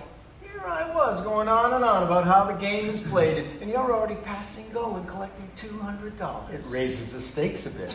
Oh, now we're going to have some fun. No. Now we're going to have a war. Oh. We don't use that word, Bobby. Never war. Not in Washington. War takes time and money. Money we can waste, but time, that equates to extra rounds on the golf course. I'm ready for you, Senator. Bobby, sometimes you have to do what you don't want to do at any cost. I will. Sometimes you have to check your morals at the door. Like an old overcoat. Sharon has taught you well. Yes, she served her purpose. Served her purpose. Bobby, I didn't know you could be so cold. I've learned that you have to be to survive.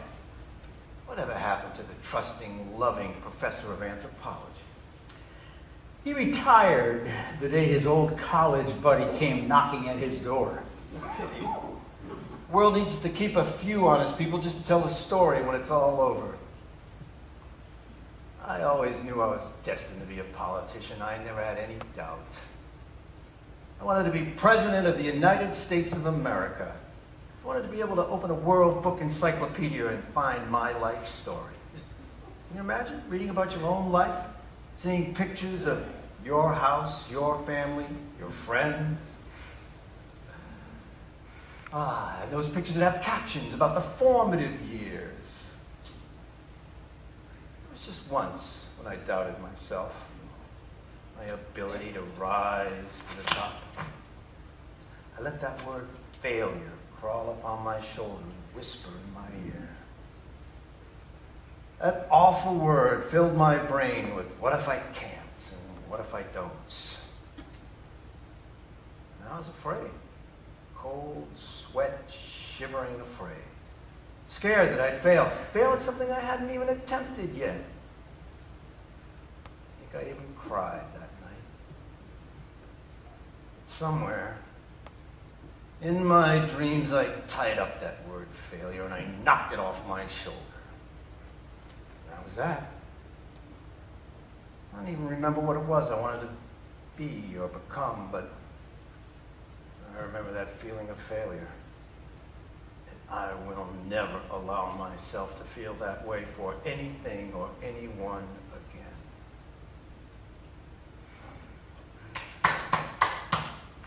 That speech was just as touching as the first time I heard it. Never hurts to do old material. Well, Senator, do you have any use for a campaign manager? It seems that I've served my purpose in this office. I didn't mean it like that. Sure you did, Bob. Oh, I'd love to take you back, Mrs. Christian, but I'm afraid there's no more room aboard the bounty. That's fair. Sharon, wait, we need to talk. Sure, Bob. Tomorrow, let's do drinks. Maybe lunch? Well, I would love to be a third wheel, but perhaps I'd best leave you two alone. Better get back out there. Babies to be kissed. I'm looking forward to the debate, chance to lock horns. Oh, so those were horns I saw above your hairline? I'm sorry. Don't be. He makes me say things I don't mean. Don't blame it on the senator. Oh, I'm not. Why were you talking to him? He just popped in. Don't you know what he's trying to do? Scare me? Exactly. Well, he didn't. What if the press got wind of this? What if I could care less what the press thinks? Oh, what am I doing here? I'm out of here. I quit. You know, we've been doing well. I've been winning votes. Just two more weeks of speeches about nothing, and I'll have closed the gap. Speeches about nothing mean nothing. Why don't you say what you really feel? My last speech went quite well. It had no heart. Well, I had a bad day. So did the people you were speaking to. Come on, it was a damn good speech. Whatever you say, Bob. You don't sound very convincing. That's because I'm not convinced anymore. What does that mean? I don't believe you, what you say. I say exactly what I'm supposed to say. Before you said what you felt. Wait a minute. In the past two weeks, you've given at least 50 speeches, and they all sounded like the speeches of a politician. Well, that's what I am. You were never a politician. Perhaps at times you were a candidate running for an office, but you were never a politician. You told me I had to learn the game, avoid the truth. Absurdity is good. Stay away from personal feelings. I was wrong. I prefer the man who made mistakes. I prefer the man who said what he really believed in. Maybe I have been saying what I really mean. Maybe it's you that's changed. Have you thought of that? Every minute of every day I think about it. And the truth is, I have changed. I've become a self centered campaign manager, bent on revenge. But what's really haunted me the most is I've turned a nice, kind anthropologist into a cold, uncaring office seeker. You know, I've come up in the polls. We're doing really well. I've just about tied with Mike Meyer, and I'm coming right up on the senator. I don't care about the polls. Yes, you do. No, I don't, Bob. I care about you. I care about myself. I don't give a shit about the polls. Sweetheart, hello. Oh, Sharon, will you take these packages? And that's another thing.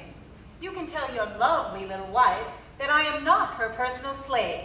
I am a campaign manager, and I have my own responsibilities and my own duties. And I do not need any more. Thank you. Someone's having a bad day. Sharon, why don't you why don't you take some time off? Yes, I'm sure there's a mental institution that has an open bed somewhere. Then perhaps I could book you a reservation. Oh, don't bother. I wouldn't want to add to your responsibility. Bess, please. Where are you going? See, you don't listen to me, me anymore. I quit, I'm leaving. I have served my purpose. Have a nice time. Don't bother to write. Bess, go cook the dinner. Okay, but tonight I'm boiling everything. It's easier. Sharon, stay. I'm listening. Tell me what to do. Being honest is the only chance you have. You can't be a better Senator Fox than Senator Fox himself. And unless you change this minute, you do not have a chance of winning. I, I just got lost. I wanted to beat him so badly You got that. swallowed by that want. But he hurt, he destroyed my life, and I wanted to hurt him. Oh, in a way, he gave you a chance to build a new life. Will you stay? I'll think about it. Good. No more speeches about nothing. We focus on the debates. Whatever you say. Okay. And keep her away from me. I'll try. Try hard. What did she mean by that? Yeah, don't worry about it. I don't trust her. You don't have to trust her, but we do have to listen to what she says. She's right. I've been playing the game all wrong. Uh, so what are you going to do? Be honest. That's it? That's your big plan? Well, that and uh, a few other things.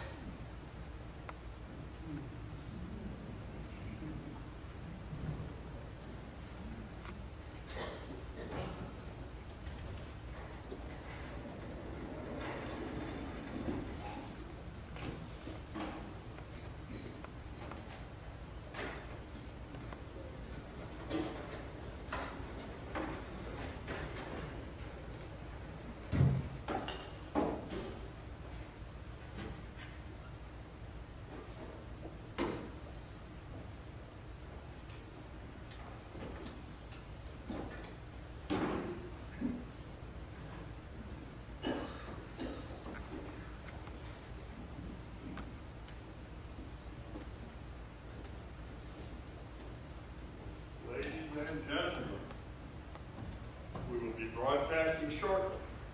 Please move into your positions.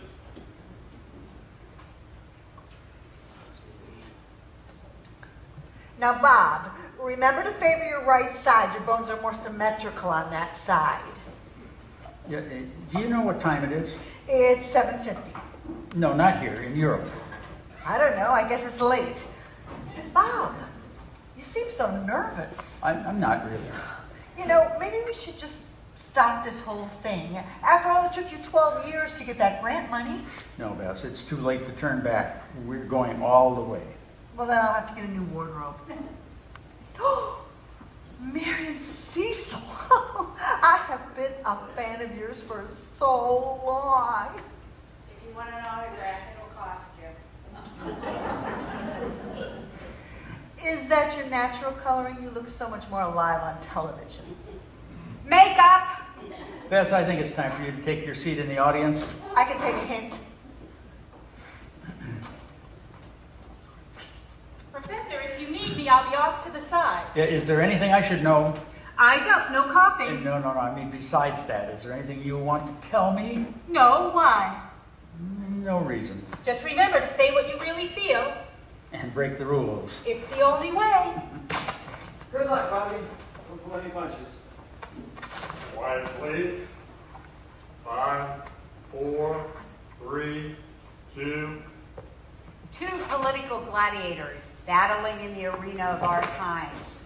Armed with only their wit and knowledge, they will battle for that glorious position awaiting them atop Capitol Hill.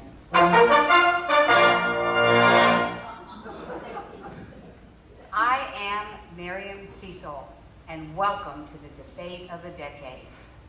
Tonight's program is sponsored by Lungston Cigarettes.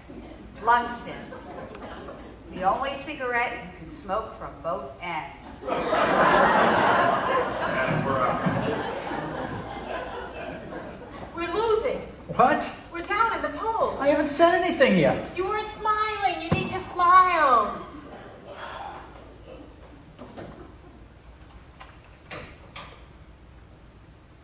Five, four, three, two, Welcome to the debate of the decade.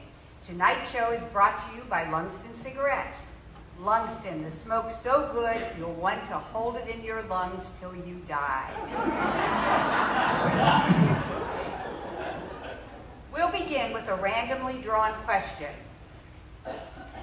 Senator Fox, Miriam, Senator, what is the biggest issue facing government today? I believe that the biggest issue facing government today is the need for more government. I believe it was, and shoot me if I'm wrong, I believe it was George Washington who once said, Damn, I wish I could chew this steak. And I believe that those words are just as meaningful today. Increase, take, want, need. These are the words that are etched onto the base of that copper lady that stands as a symbol for all those people that can sneak past our gates. God bless America.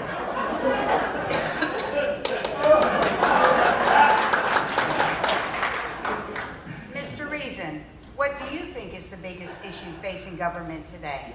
A re-evaluation of power. Our national government has been growing out of control for over 200 years, and it's been feeding off of the power of the states and the power of the people. And it must be contained. and we're out. I haven't finished yet. Sorry, buddy, we're on a tight schedule. And Disney on Ice starts in 20 minutes. Great, we're moving up in the polls. But I didn't get to finish. It sounded like you did. Oh, this is ridiculous. Just think honest. Ready? Five, four, three, two. All this excitement has been brought to you by Lungston Cigarettes. The only cigarette whose secondary smoke is as good as the real thing. Senator Fox, if you woke up one morning to find that you had been transformed into a woman, what do you think would be the first problem you would encounter in the real world? The first problem that I would encounter would be what to wear. I'm a big man, and I would imagine that I would be a big woman. As I travel around this great state of ours, I have found a shocking lack of clothing stores that cater to the larger woman.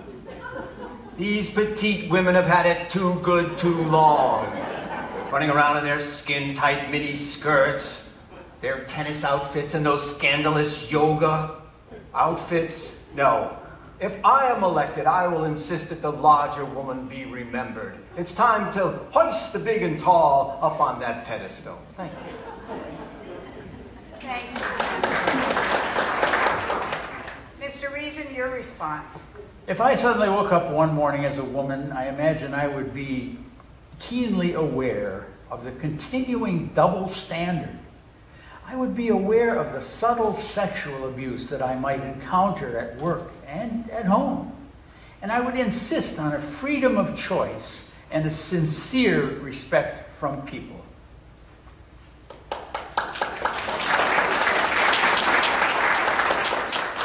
Thank you. Reason. Our next question is for Mr. Reason again. If elected to the senatorial seat, what would you do for the homeless and the hungry? I would find them homes and I would feed them. Is that all? Well, that's all any of us can try to do. I see. So my infamous opponent would feed and shelter all the homeless of this Senator, state. you are out of line. I would certainly try. And I suppose you would probably give them clothing and money as well. If I could. And where would you, Mr. Reason, get the funding for such an operation? I would try to get the funding from our government. The government that wastes over half of its annual budget on itself. And since when did you become a financial expert? I know very little. Gentlemen, little. please. I know very little about finances, but I do know that we waste more food in this country in one day than many countries see in an entire year. Money, sir. Where would you find the funding to operate this endeavor? I would start by trimming down the salaries of our Congress. And I would cut down on the amount of paper that crosses our desks. I would cut down on the traveling expenses. The people should not have to pay for luxury cars, luxury hotel suites, and luxury vacations. And I would look for the illegal contributions to campaign contributors and other friends of Congress. That, Senator, is where I would try to get the money for this project. You, Mr. Reason. You, Mr. Reason, are out of line. No, Senator, you are wrong. Dead wrong. And these vicious personal attacks must cease, sir. What personal attacks? My mother did what she had to do to support my brothers, my sisters, and myself. How can you hold this persecuted lady in contempt? I never mentioned your mother. Say it ain't so, Mr. Reason. My poor mother. It won't work, Senator. And by the way, you have no brothers and sisters. You're an only child. Attacking my family history.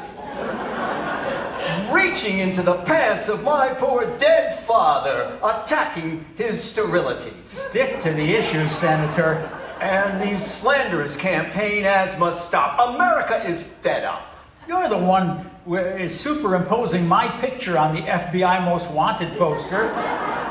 The truth hurts, doesn't it, Mr. Reason? You are a cheat, a liar, and a philanderer. I am not a bigamist. I didn't say you were. Well, then just forget I mentioned it. You're unable to even complete an entire thought. But, uh, why, no true. The people should vote for integrity. The people should consider the character of a candidate when voting. People should floss daily, too, but I don't see you worrying about that. Good dental care, sir. Gingivitis is a threat to millions. Gentlemen! The time has come Oh, so you're just going to go and make a big change. I'm going to- You're going to stop me. with, with all my. You can't. No, I. Uh, you never. Liar, Shrimp. cheater, Nerd. idiot. No.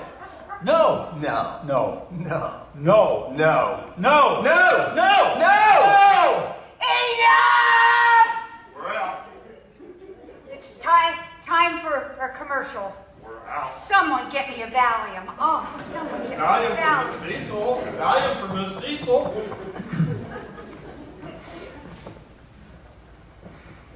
Very nice, Bobby. I suppose. You are honest. I knew you would be. It's hard to break old habits.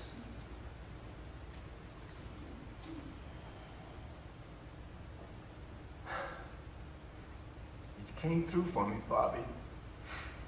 I put all faith in you. It doesn't matter. Yes, it does. You'll probably still win. Oh, I know I'll win.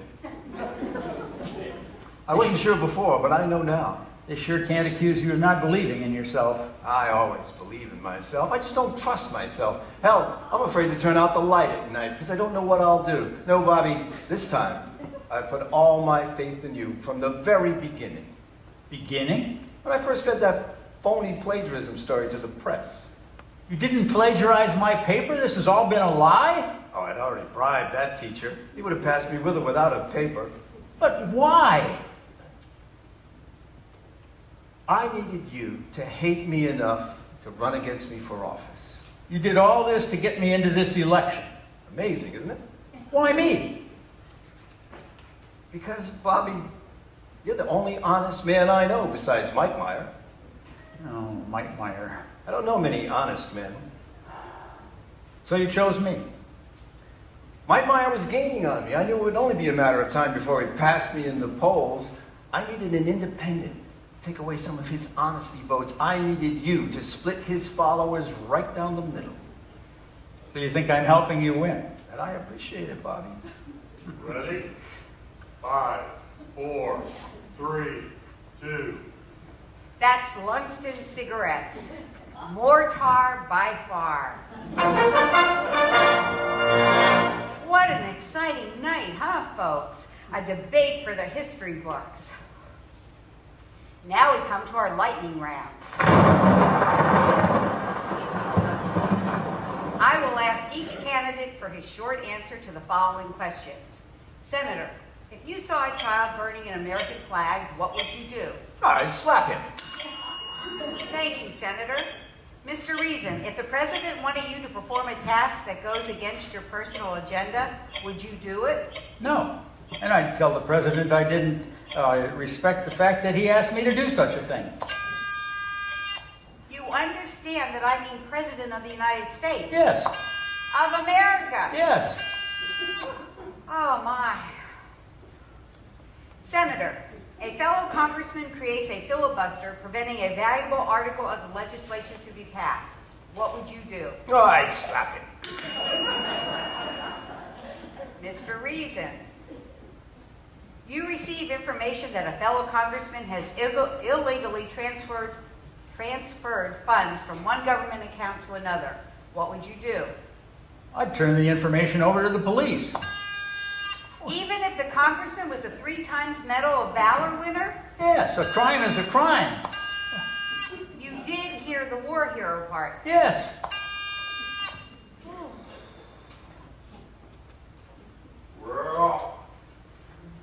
I believe it's time for a commercial. Thank goodness. Cigarette. Somebody get me one of those cigarettes. Listen, mister, I don't know what you're trying to prove. We have an audience out there that depends on us for entertainment. So stop being honest. Honest is not entertainment. Bob, you're doing it. Yes. I'm taking votes away from Mike Meyer. Maybe, but you're catching up to the senator. Oh, no, I'm taking votes away from his opponent, which means I'm moving farther away from the senator. Bob, what are you saying? That's why you wanted me to be honest. I was getting too much like the senator.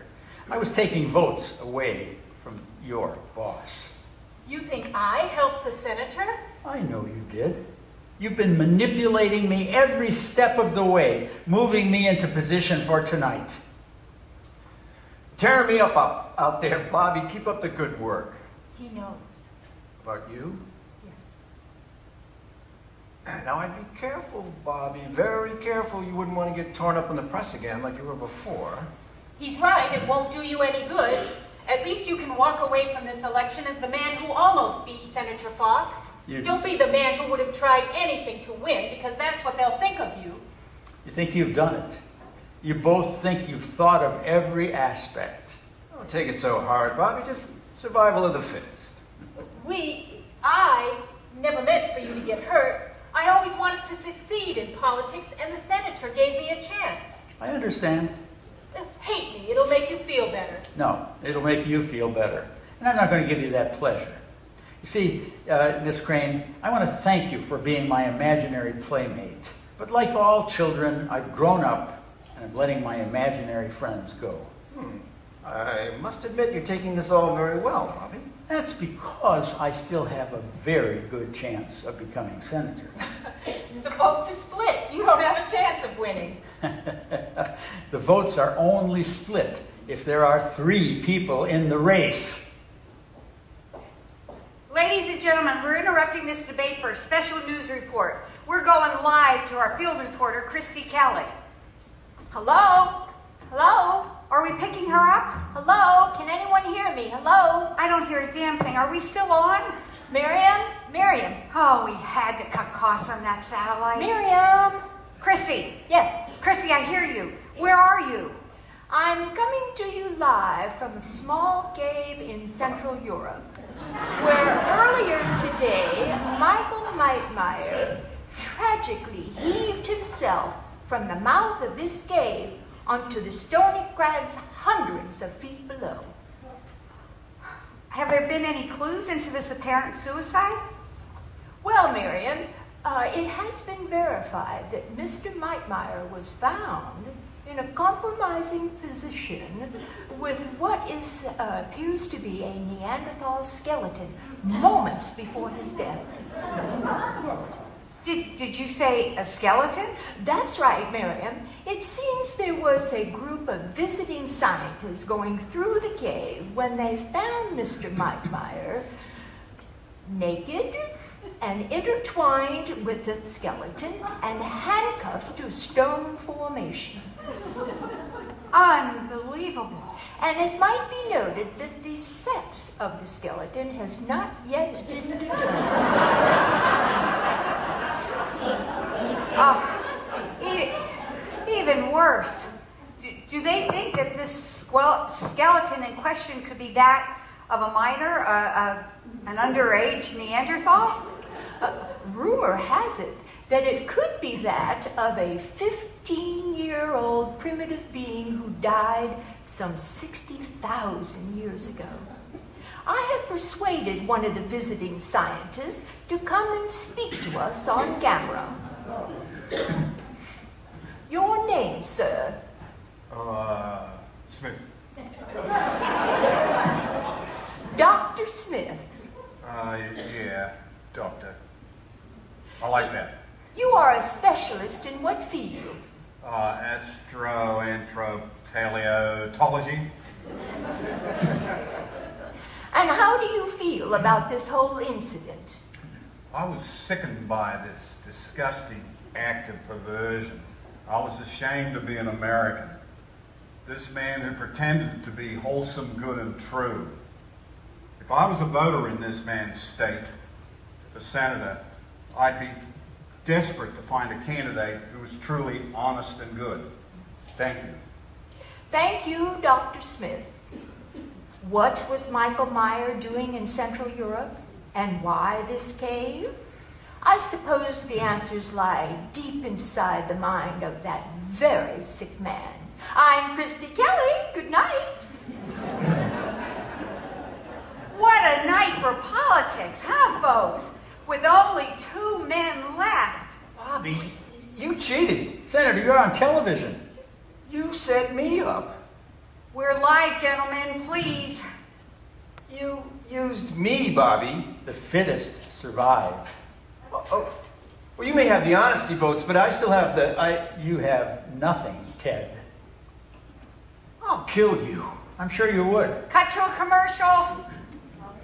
It's over, Senator. This means war. We never say war in Washington. He's quoting me. I'll kill him. Just one shot. Come on, Bobby. Just give me. I should have stayed with the cooking show. Bob Reason is as crooked as I am. Bob, I demand a recount. Just the ins and outs of the system.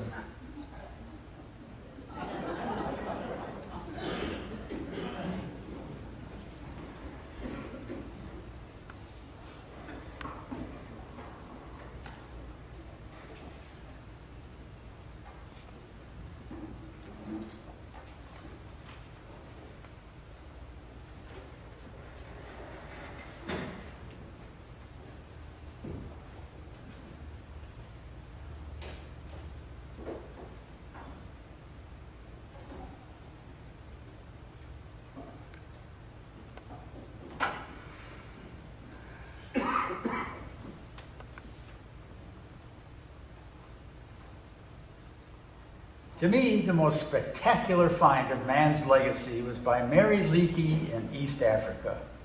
She discovered three sets of fossilized footprints and was able to attribute them to man's early ancestors of 4.5 million years ago. I wrote in the conclusion of my book, it seems that a large male walking upright was followed by a smaller female. The female placed her feet carefully within the print of the male. But the third set of prints was that of their child, a child who was skipping happily beside them. And then, for some reason, the child suddenly stopped to look back over his shoulder. Why did this child look back? Was he looking back to see from where he had come? Or was he looking back to see who or what was coming up next? Thank you.